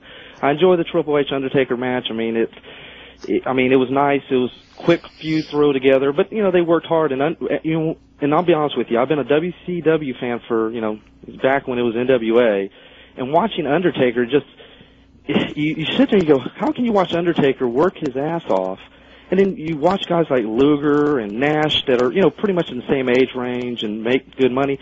It it just shows you that these veterans can still put on a show, and it just disappoints you when you see a guy like Undertaker just busting his tail. And I had to suffer through years of Nash and Luger, and it just it makes me sick knowing that you know these guys could have learned something from Undertaker last night. It was just. And as for the Well, McMahon, there- there- there's, there's your, there's, you know what? There's your difference. That's why And- and Undertaker's still around where he's at, and the other guys are not. That's why the other guy's company's not around anymore because because they had the you know it, was it was you know what I, I don't blame the the guys as much as I blame the management because if it was good management they'd have sent him home when they started being a cancer not after they killed the company. I mean Nash was never sent home. Luger was sent home a couple of times. I mean I mean Russo sent him home and then they brought him back and gave him a bigger push than when he left. So what does that tell you? I mean it's, it's, every one of the guys there that screwed up in some sense or, or went against the system or whatever it's called, went into business for themselves, I guess is the best term. Every one of those guys never really got punished for it and got rewarded. Scott Steiner, what did well, you know, what they do? They gave him the world title. You know, it's like that that really that really teaches, you know, O'Haire and, and Jindrak and these guys, you know, like uh you know, how to behave, you know, and, and how to you know, I mean those poor guys in the WWF, it's gonna be culture shock for them because, you know, they're gonna you know, it's just going to be so different. You know, when um, when those guys got their their contracts from WWF, you know, or they'll, they'll notice that their contracts were being picked up. Mm-hmm. You know, the first thing they did was they called Nash. and Go, Kevin, what do we do? It's like Jesus Christ, this is the guy you're still going to for advice. you know what I mean? The guy who's Yep. not even in the business anymore, but I have, I have although he's making a lot of money. I have a So, question. whatever. I mean, I know right now we're sort of in the down cycle with wrestling and in this new WCW co- slot coming up, but I don't know. I just something just my opinion is I, I just think, and like I said, I am a WCW fan. I just feel it would be better if they just didn't even try with WCW. I just feel they should take the Sean O'Haire's and these other guys, you know, put send them to Memphis or send them to Ohio or wherever, get them ready, and just build them up. Because I'm a huge Sean O'Hara fan, and that was the most exciting thing about the WWF acquiring WCW was finally this guy's probably going to get, you know, could be the next Triple H now. And I just really think they should just don't even try with WCW. Just take the, you know, take these young guys, push them, and then when the time is right, you know, bring back another show. I don't know. I just think right now, as a WCW fan and a wrestling fan in general, I just think we're- we have some dark days ahead of us right now. But I appreciate the time, guys. Um, well, we have some dark days as far as lack of competition. That's true. Uh, let's go to Franco. Franco, what's going on? Franco, How you doing, guys? doing good. Hey, Um, couple couple notes. I like that last call. The last call was a good call. I've been sitting here listening to uh, the show. You guys have a great show. Great show last night as well. Um, Thanks. Uh, but I'm, you know, I'm, I'm, uh, I'm in the, I'm wondering who writes, who writes for the WWF? Who, who are the writers? Uh, because uh, last night's show had uh, WrestleMania one through sixteen written all over it at some point. Uh, you know, WrestleMania is is uh, once a year, and I don't know what you guys think, but uh, you know, you're supposed to have different angles come up, and you're supposed to have run-ins, and you're supposed to have new faces appear, and old faces come back, and whatnot. I felt they were all so scared, uh, worried about the, the Austin turn that everybody else was sort of just pushed aside. And the only thing that mattered, if you would have heard the commentating, you know, Paul Heyman was horrible last night. Horrible. Because I, I, I thought he, I thought he was pretty good. You know, uh, and I say that because uh, you know I, I listen to to the way that they're putting guys over and putting you know different angles over and whatnot. In that final match, they did you know uh, what, what's his name? Uh, um, Ross? Hay- yeah, Heyman and and and uh, and, and Ross. the and the cowboy there. Uh, they were they went crazy to try to put uh, put this heel over. You know this heel. They heel. needed, they knew they needed that to was their because the job though, because you know it was. otherwise, you know, if you just watch that show and you didn't have Jim Ross and, and Heyman doing their damnedest to get that guy over, all you would hear is the crowd not buying it. Yeah, but no, exactly. And, and you know, like uh one of the guys right now, believe it or not, that is so over is is uh is William Regal. And they put him out there in the first match. They don't do no prep for it. They don't do nothing. They don't have a run in. They don't have uh nothing at all. It's just uh, he goes out there. Well, and- they, they, they had enough run-ins There's on the nothing show. They necessarily certainly- wrong with the first match because a lot of times they want the first match to be the one that sets the pace for the entire show. So it's not like, oh my god, who do we want to bury today to put in the first match? It's more like, you know, who can do a, you know, a good opening they match. want- they- yeah, well, I, I They wanted, they wanted, they think wanted a good match. They, they didn't want to open with like Ivory and Chyna. They stuck them in the middle, you know, because they knew they wanted it to be kind of hidden. I think Eddie Guerrero, Eddie Eddie Guerrero should have gotten that first match with Test because they they their match was a pretty good match actually, and and uh, They, apart they from could have done The it. thing going in though is you don't know because I mean if you gave me that card I would automatically say Jericho and Regal is going to be better than Eddie Guerrero and Test. I mean it didn't turn out that way I guess, but uh, Yeah. that would have been my first thought. Yeah, just a couple of thoughts here. What, what's what's the story on, um, or what what do you guys think is the story tonight when it comes uh, when it comes to Austin? Uh, they really like the first thing they got to do. I think is when the when the show opens is they got to get Austin out there, and Austin's got to you know uh, He's gotta insult- he's gotta he's insult gotta insult his right mother. away. He's got to insult his mother. You know. No, Yeah. just Texas. He, they, he, if he insults his mother, they'll cheer him. They got to insult. He him. needs He's to gotta come out with Vince to Vince's music. If they come out with Austin's music, it's all downhill from there. Or, or, or last night uh, it was uh, it was Vince that, that sort of went out in the ring and pulled the save on on uh, on um, on Austin. I think tonight maybe Vince goes out there and you know how about Triple H uh, having a face turn? You know I think it's about time Well, the that's- guy's that's- job that's- to everybody. That's um, that's down the line. I mean, that's at one point that was actually planned for Mania, but I think they wanted to. You know, they're going to do the Undertaker thing for a little while, and then I think after the Undertaker thing runs its course, I'm presuming he'll go with the face turn. And and uh, obviously they're building the Triple H in Austin because they did that. They already got that match in the can that Triple H won, so they're ready. Yeah. Okay, thanks very much, guys. Good show. Okay, let's go to uh, Alan. How you guys doing today? Doing pretty good. All right, I had some questions. I heard something on uh, I don't know how true it is. You know, for WrestleMania next year, 18, where it's going to be held at, maybe. Uh huh. Well, not where it's going to be exactly, but what's it, I heard it's going to be in Tampa next year. Is that true or a possibility? I don't. I don't know. Um, I I think that they've al- already made plans. I um, but they did not announce anything at the show. Like remember last year they announced the Astrodome pretty far ahead of time. Yeah, they So- announced it last year. Yeah, so I whatever it is, I I think it's probably not locked in stone because if it was, uh, they may have announced it last night. Hmm Also, I heard with the WCW guys, one of the guys there was uh, Johnny Ace. Is he gonna True. be involved? Like, I mean, Nobody nobody knows. Mhm. It's it, literally it, these decisions haven't even been made yet. They haven't because of WrestleMania. hmm I mean, they bought the company, and they haven't really thought about what they're going to do. A lot of that stuff, the next two weeks, they're going to do a lot of planning on what they're going to do with WCW. Start offering people jobs, start getting writers, office people, the whole bit. Right now, you know, a road agents. Um, I mean, they, he very well may get a job, but you know, this is these are decisions that haven't been made yet. Now, if he was going to get a job at the company, I know, I remember, you know, seeing him years ago when I used to follow wrestling in Florida, and I know he's wrestled in Japan for a while. Is he Mhm, still, yeah. still, do you think a good uh, wrestler? Like, do you think he? Oh, he won't wrestle. Johnny Ace isn't going to wrestle. If he does, he'll be like some sort of a, a booker or a finish guy. He's not going to. He's not going to wrestle. I see. Also, um, say you know the Goldberg goes to the WCW, you know, down the road, and they, Mhm. you know, starts a feud with Austin. Do you think that would be, if I don't know, say he comes in a few months from now, do you think it would be best that they would win feud to like maybe next WrestleMania, not to rest the feud? Because I mean, after a while, like for example, you know, you, we've seen Austin, Rock, Triple H, you know, it gets to the point. I, I mean, I mean, the, the, the, the That's a reality is, is that- WrestleMania main event. Yeah, the the, rea- the reality is that uh, it's you know very unlikely he's going to come in, and they're certainly not thinking along those lines that he is. So I mean, there's no there's not going to be any plans made for that. I mean, there's just you know again, it, depends on what kind of a buyout that that they get and what kind of you know. Every, everything's just so up in the air when it comes to Goldberg, but the the odds are he's not going to be coming in. And yeah, yeah, Austin and Austin and Goldberg could draw a lot of money if it's promoted right. It's a mm-hmm. real tricky thing with with Goldberg because they got to make him a killer or he won't mean anything. But to make him a killer, you're going to upset an awful lot of people that he has to kill.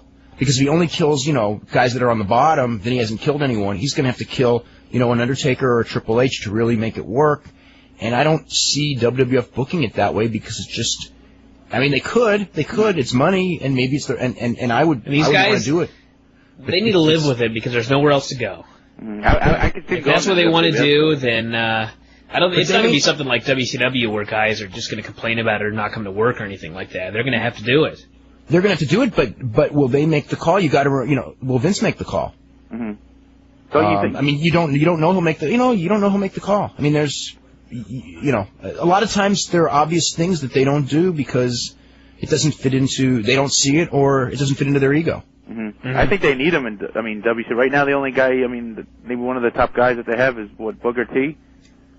They don't even I don't even know that he's under contract yet. Although I'm sure that they'll end up with him. I mean, they need somebody because if you're gonna say that, that none of their They need guys, a lot of guys.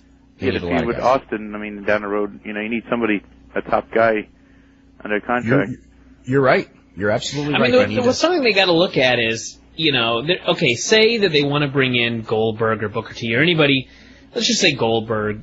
You know, it's going to come down to: are, do we want to pay this guy two million dollars, or are we going to create a company with a bunch of lower card guys that is not going to make it, and we'll be out ten million and what other whatever other costs that we put into this thing? Mhm. I mean, you know, looking at the big picture, the two million a year may be an investment and not something that um, I mean it's going to screw up everything and But guys that's- can that's the other end, about but it, but it's, it's better sal- than losing the company. They- but they've got that tight salary structure and they haven't budged on it yet. What are, what are some mm-hmm. of the? But they haven't had a need to yet because it's not like their company is you know it's not like WWF is going under. I mean Right. if they don't get WCW off to a good start, you know why why just because it's under WWF ownership is it going to be in a better position if they're booking it the same way and if they have even less big stars than WCW had when it was losing 60 million. Yeah. Yeah. They need. I mean, they need a big talent. And besides, didn't they have like when the Big Show first came to the WWF or Mark Henry? Didn't they have big contracts that they invested in? Yeah, well, Big Show's got a huge contract. Mark Henry's got a good sized contract, and that's why they've tried to get him to quit. That's what I'm saying. One, But those guys don't. Those guys don't quit very easy. I think they need at least one or two guys that they. I mean, if McMahon, if it meant giving him that money, and maybe you know. And they could still make a lot of money even if they didn't make as much with merchandise sales. That and they could make, wind up making even more than you know what they were going to get per year. I mean, it's possible. Well, I mean, McMahon McMahon can afford anyone he wants, he can pay him anything he wants. So it's just a question of what what he wants, and and, and he makes these decisions. You and what like- they want too. Well, if they want to do well, it. yeah, I think a lot of the yeah, I mean, story's going to be told after the first couple of weeks of TV. I mean, if that show's doing like a a one or a one five, uh, he may see that two million dollars for Goldberg for some of these other guys is something that maybe he wants to do. Yeah, you're right. One more quick thing. You guys were mentioning about Bischoff. There was a rumor, I mean, it's probably a rumor anyway, that on some message boards they were talking about, or NWA, they wanted to purchase the NWA name or something like that. I guess that's just something ridiculous. made Bischoff, up I don't. I, but but for but there's. I mean, Why though? but for what's what, what you know, it's like what there's no TV. That's the problem. That's the problem, yeah. Yeah, I think if there down was the, TV down the road there'll be another wrestling group. I don't know if how good they would be able to compete with the WWF, WCW, but probably when there's TV, then they'll. when there's TV, there'll be another wrestling group. Without it's this T, this thing. will- You know, the lifeblood of this business is the television, and and if you can't get on TV, you can't compete. No matter how, even if you have better talent, you couldn't compete. And it's Mm-hmm. going to be pretty hard to have better talent. It's almost there's not enough talent out there to there's not enough talent out there to get better talent. True. All right. Well, it's nice talking to you guys again. You know, keep up the good work with your show. Thanks very much. Let's go to artist in Chicago. Artist, Yo, how you doing, guys? doing Hey. good. Um, my question is, um, I was wondering, I've been wa- I've been watching the WWF for a long time, and uh, I was wondering, um, what's going on with the tag team division?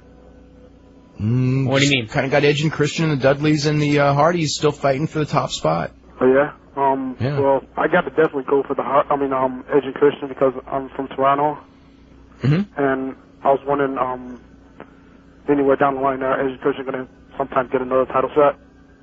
They got the belts last night. Oh man, I missed it. I was, I just got back from Detroit.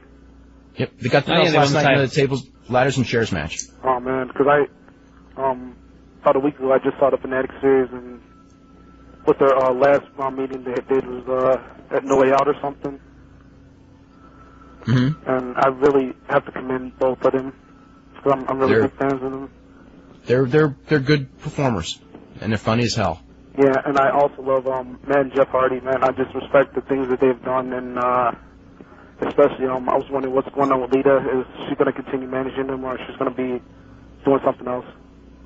Little, I think a little bit of both. I think she'll be with Matt because they're doing that love interest thing, and then she'll, you know, obviously wrestle singles, and um, I don't know what they'll do if they'll build up her against Chyna, or it doesn't seem like a good matchup right now for for for either side. It's too much trickiness in that. Yeah, but also, um, you know, um, she'll she'll wrestle against one of the women and do some sort of a program. I got a feeling. Right. And I was Can you imagine Chyna trying to take that uh, diving Frankensteiner off the top rope? Oh yeah. Yeah. Brutal. And I was also wondering what's going to happen to um, Bradshaw and Farouk. I, heard- I heard they're one of the top tag teams right now. Um, they are there. You know, I think they're kind of just filling out space right now. I don't think that there's any any real plans for them. They got a gimmick, people kind of pop for them, but there's there's not a whole hell of a lot they can do with them. You know, so they're just kind of there. We're gonna we're gonna get going to to the, um, we're gonna get going, okay? Because we got a lot of calls we got to get to, okay? Okay, keep up the good work. Okay, let's go to Dave in uh, is it San Diego? Hey Dave, how you doing? Doing good. Yeah, I got a. First of all, you got some idiots that are calling, man. I mean, that last that last caller was ridiculous. Did Yakushi win the belts? Come on. Well, they didn't uh, read the newspaper anyhow, this do you morning. think anything that show last night was uh as caliber of Bret Austin at the WrestleMania from a couple years back? No, no, no, no, no, No, no, no. No, no, no. Nothing was that good. Yeah. There was a lot of great stuff, but no. Yeah, I didn't think so either. I think the card was like somewhat overhyped, you know. I, lo- I love the show. I mean, I Overhyped thought- going in or overhyped after it was over? Oh, going o like as it was done, everyone was saying it was like Okay. pay per view of the year. I I, I kind of, I don't know. you know the the thing that, that makes it good was there's a lot of I mean they there's just like a lot of little things they do for WrestleMania that they don't do for other shows and it kind of like when WrestleMania doesn't make it like last year's WrestleMania I thought was a disappointment you know it's like it's like a bigger disappointment but when it does it almost seems like it's a better thing but Yeah. I, I, I I really liked a lot of those matches a lot I mean to me if you, if you get three great matches on a show then hell that's worth it I mean I Yeah. I saw many many pay per views where I saw no good matches you know so. Well, I had an idea too to elevate Benoit because now Mm-hmm. they're doing the whole uh, Austin as a heel thing. Are they going to try to? Mhm. Why, why not uh, put Benoit in that face role like at one of the next coming up like in your house type pay per views and have a Benoit Austin match? I don't think that's any time in the near future, but I think, you know, somewhere down the road they might do that. They'll, I mean, they'll do it. They'll do they it. got to on get Raw. Benoit over as a as a big time baby face first. I mean, it, it kind of worked last night, but everyone just hated Angle. But it's been a while. It's been, I guess they started like three or four weeks ago, and it's taken it's taken some time for the fans. Yeah, to, but they to false get in. started and then they It's not something they- they, they- can do right now. They they did okay. The first turn was totally botched up and stupid. Then they made him a heel on the very next week's TV because they knew they botched up, and then they turned him again. You know what I mean? It's like people Yeah. don't know what to make of this. I mean, if, if they put that match like on TV tonight, it would be like Austin is total babyface and Benoit's total heel. Yeah, well, so I think just- they could do something where like Benoit puts the crossface on Vince or something, and you know, I don't know. Austin stomps him. know him. Yeah. yeah. Oh well, thanks for taking my call, guys. Okay, let's go to Marcus. Marcus, what's going on? Hey guys, how's it going? Hey, it's going good. All right. Um, I want to know how, how did you did you guys enjoy the Guerrero Test match? What about it? I mean, you guys enjoy it? Do you think it was pretty good? It's pretty good. Uh, wouldn't call it good. It was it was it was it was okay, Decent, probably. decent. It was definitely decent. Yeah. Okay. And uh, real quick, that, one of the guys who called earlier, he was like, there should have been a run-in for the Jericho and uh, Regal match. That match had no need for a run-in. I only any, any of those Especially in the opener. right, exactly. I don't think any of those matches had need for a run-in except for the TLC match and, of course, the main event. You know, to turn Austin heel or whatever. Yeah. Um, that's pretty much it. All right. Thanks, guys. Okay, let's go to Abby. Abby, you're up next. Hey, nice to talk to you guys. Um, I got a question about WCW as far as in general when Vince McMahon is done like doing whatever he's doing with it. Is he eventually going to shut it down? I think the inevitability is that that's what's going to happen. Yeah. I mean, I, I, I think it just depends on a lot of different factors, but probably it'll end up being shut down. I mean, if the thing if the thing's successful and it can be successful for five years, I don't see why you would shut it down. But I don't know if uh, it's just too much that's gonna hap- stuff for one happen. guy to do. you know, growing up, like before I sort of knew about wrestling behind the scenes and that kind of thing, it was like you always read the magazines and you read all the like dream matches or whatever that would take place, and then ultimately would when you know people would jump ship and go to you know crossing federations or whatever. But there's also talk of um, people jumping from WWF, like Shane McMahon recruiting people. Is Triple H Mhm. going to be one of those people?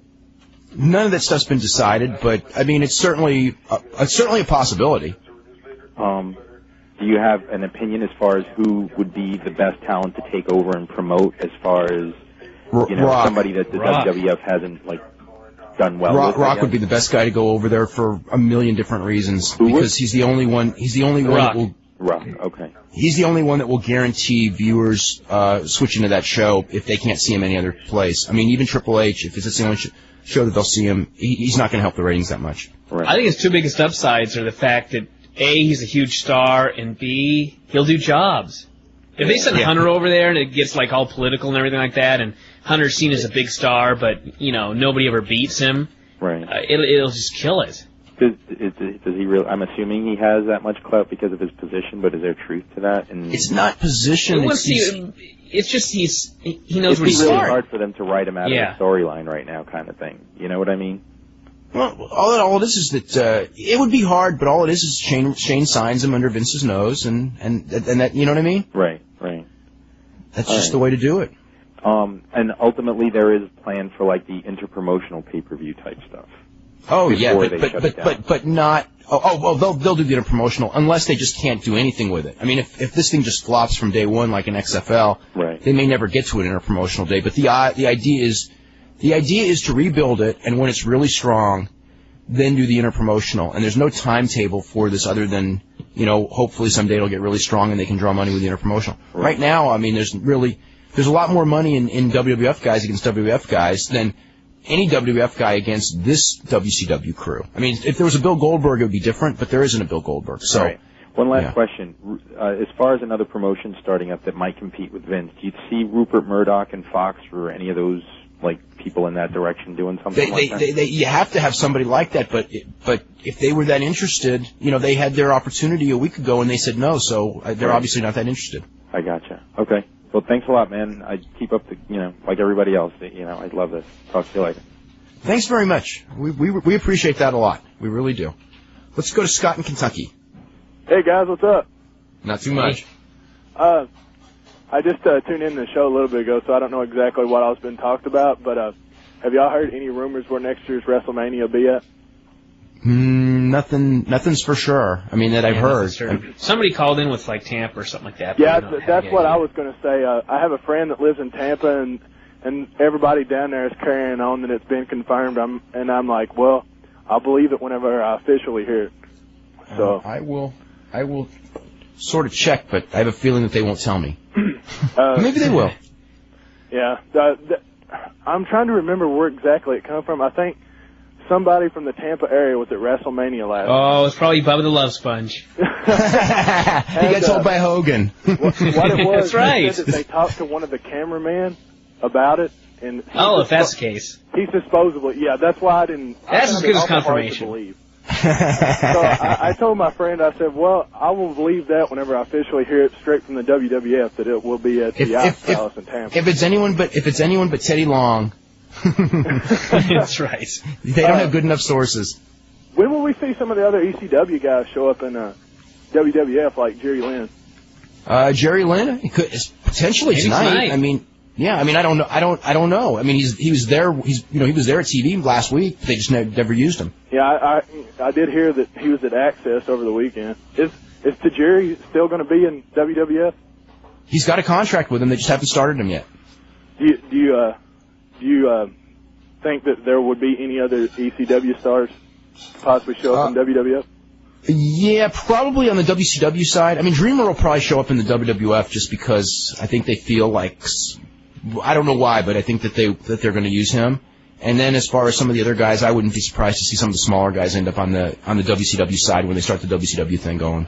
Do you, do you Yeah. figure if they bring Dreamer in, it's going to be definitely him and Raven feuding Oh God, no. down the road? I mean, it's it's it's like really it's like a match, but it's like it's a possibility, but as far as doing the Dreamer Raven feud, I just don't see it. I mean, I I, I think the Dreamer in WWF, I could be wrong, but I think that it's not going to be very pleasant because, you know, if without the gimmicks, there's really nothing to Dreamer. You know, I mean, he, he's not. He's not a big guy. In, e, in ECW, he could be a big guy, but in WWF, he can't be a big guy, and he's just, you know, he's too physically beat up. He's a nice guy, he just Yeah. physically can't do it anymore. Um, there was something else, and now, but oh, now that they own WCW, what are the chances of possibly Lance Storm coming to WWF? Maybe He's he, he is. He's I already mean, he's going to be in. He's going to be in the WCW side because he has been signed. Yeah. Do you, do you think that they maybe might get the Impact players back together? No. You No, no, no, no, no, no. Lance Storm's going to be in in the WCW company, Well, and Justin mean, Credible's going to be. I meant him coming to WWF on Raw. No, no, they're not. they- They have no talent on the WCW side. They're not going to let Yeah, someone I- I- you know, like that go kinda- to the WWF side yet. I mean, I not you know blame it. a, a year from now possibly, but it's not happening now. But uh, you, do you think you possibly may see Lance Storm becoming heavyweight champion sometime on down the road? WCW. Uh, most likely, I would say no, but you don't know 100. percent It's it's like Because they again, pushed him awful, you know, awful quick or awful hard whenever he first came in, and now he's just Right, but that was a different that was a different management and they Yeah, had different no- yeah, ideas. no doubt. You know, you got Yeah. it's it's like it's like you got to figure out how would you know the guys who are going to make the call. The fact is is not I mean ultimately the call of course is Vince, all right? Mhm. But the guys who are going to make the call, which would be the writers and the bookers, have not even been hired. So for me, you're trying to ask someone to think of how someone's going to think that hasn't even been hired yet. It's really hard. Like if if Yeah. it was like Johnny Ace and uh, Arn Anderson, I could at least think, okay, what would Johnny Ace and Arn Anderson be like? But they haven't even been hired yet. So it's like there's so many steps away that to predict who who and what they're going to do what with. It's just so premature. It's not really. It's really you really can't do it intelligently. hmm Uh, back on the Tampa subject, I, after them having sixty, uh, almost sixty-eight thousand people in the Astrodome last night, I just don't understand why they would want to have WrestleMania at a venue that only holds around twenty thousand people. they've done it before. Uh, Yeah, I most mean, year- most that years ra- they do. Now that wrestling's be- even, you know, more popular than ever, I just Well, don't not. understand why they would want to have Wrestling was more popular than ever about two years ago. It's on its way down. Well, yeah. I, guess, I mean, last night, last night was probably the defining moment of this boom because you know the, it was the big crowd and the biggest gate in history, but in, in American history, not world history.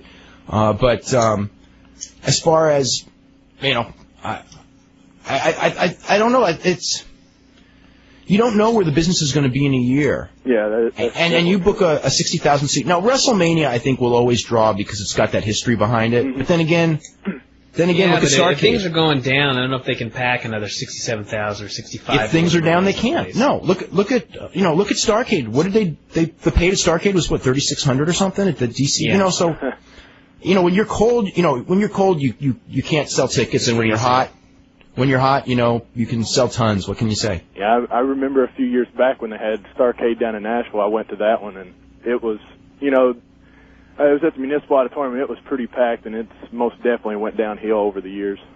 Well, the, the the Hogan, I think it was the Hogan Piper Starcade. Yes, that was but it. One, okay, that was like their first big sellout because I remember I was actually reading back old Observers and and that Starcade. People in WCW they had had like this period where the business was really really down, and then that that match like ushered it in and they had their first sellout in a long time and there were people in the company that were taking pictures outside of the sign that said sellout. Oh, that's right, of the sellout sign. of the sellout sign because it had been so many years since they had sold out like a real, you know, like that Nashville auditorium is like 9,000 seats or Yeah. whatever it is. It's not Yeah. even a big building, but they had, had, had been so long since they had sold out a building of that size that it was like, and it's funny because they went from, they went from that, you know, never selling out to like taking pictures of sellout to, um, you know, selling Like out the Georgia 13 or Dome. 17 in a row or whatever it was. I was like, like 20 something in a row. And then they went back down to where, you know, they were, you know, back to where they started. Yeah, it, it was pretty amazing because I mean there was people lined way on down the streets of Nashville waiting in line, and I believe, matter of fact, A and E was working on a biography at the time because they had a camera uh, asking people questions, and I believe I remember seeing one of the A and E documentaries, and it was uh, a lot of footage from the uh, Nashville Starcade. Yeah. We, we've got, we got to get running. Of the we're, Champions one. I can't remember because the very last Clash of the Champions was in Nashville. Yeah. We've got to get running. We're totally out of time. Okay, we're actually well- overtime now, okay? Uh, you guys keep up the good work, and I appreciate uh, answering all my questions. Okay, you're very welcome. I want to thank everyone for calling in, and uh, Bryan and I will be on here tomorrow. We're going to have Tom Zenk here tomorrow, so we're going to have a lot of fun. We'll be talking about Raw and talking about uh, anything else that you guys want to talk about when it comes to wrestling. We'll see you tomorrow at 5.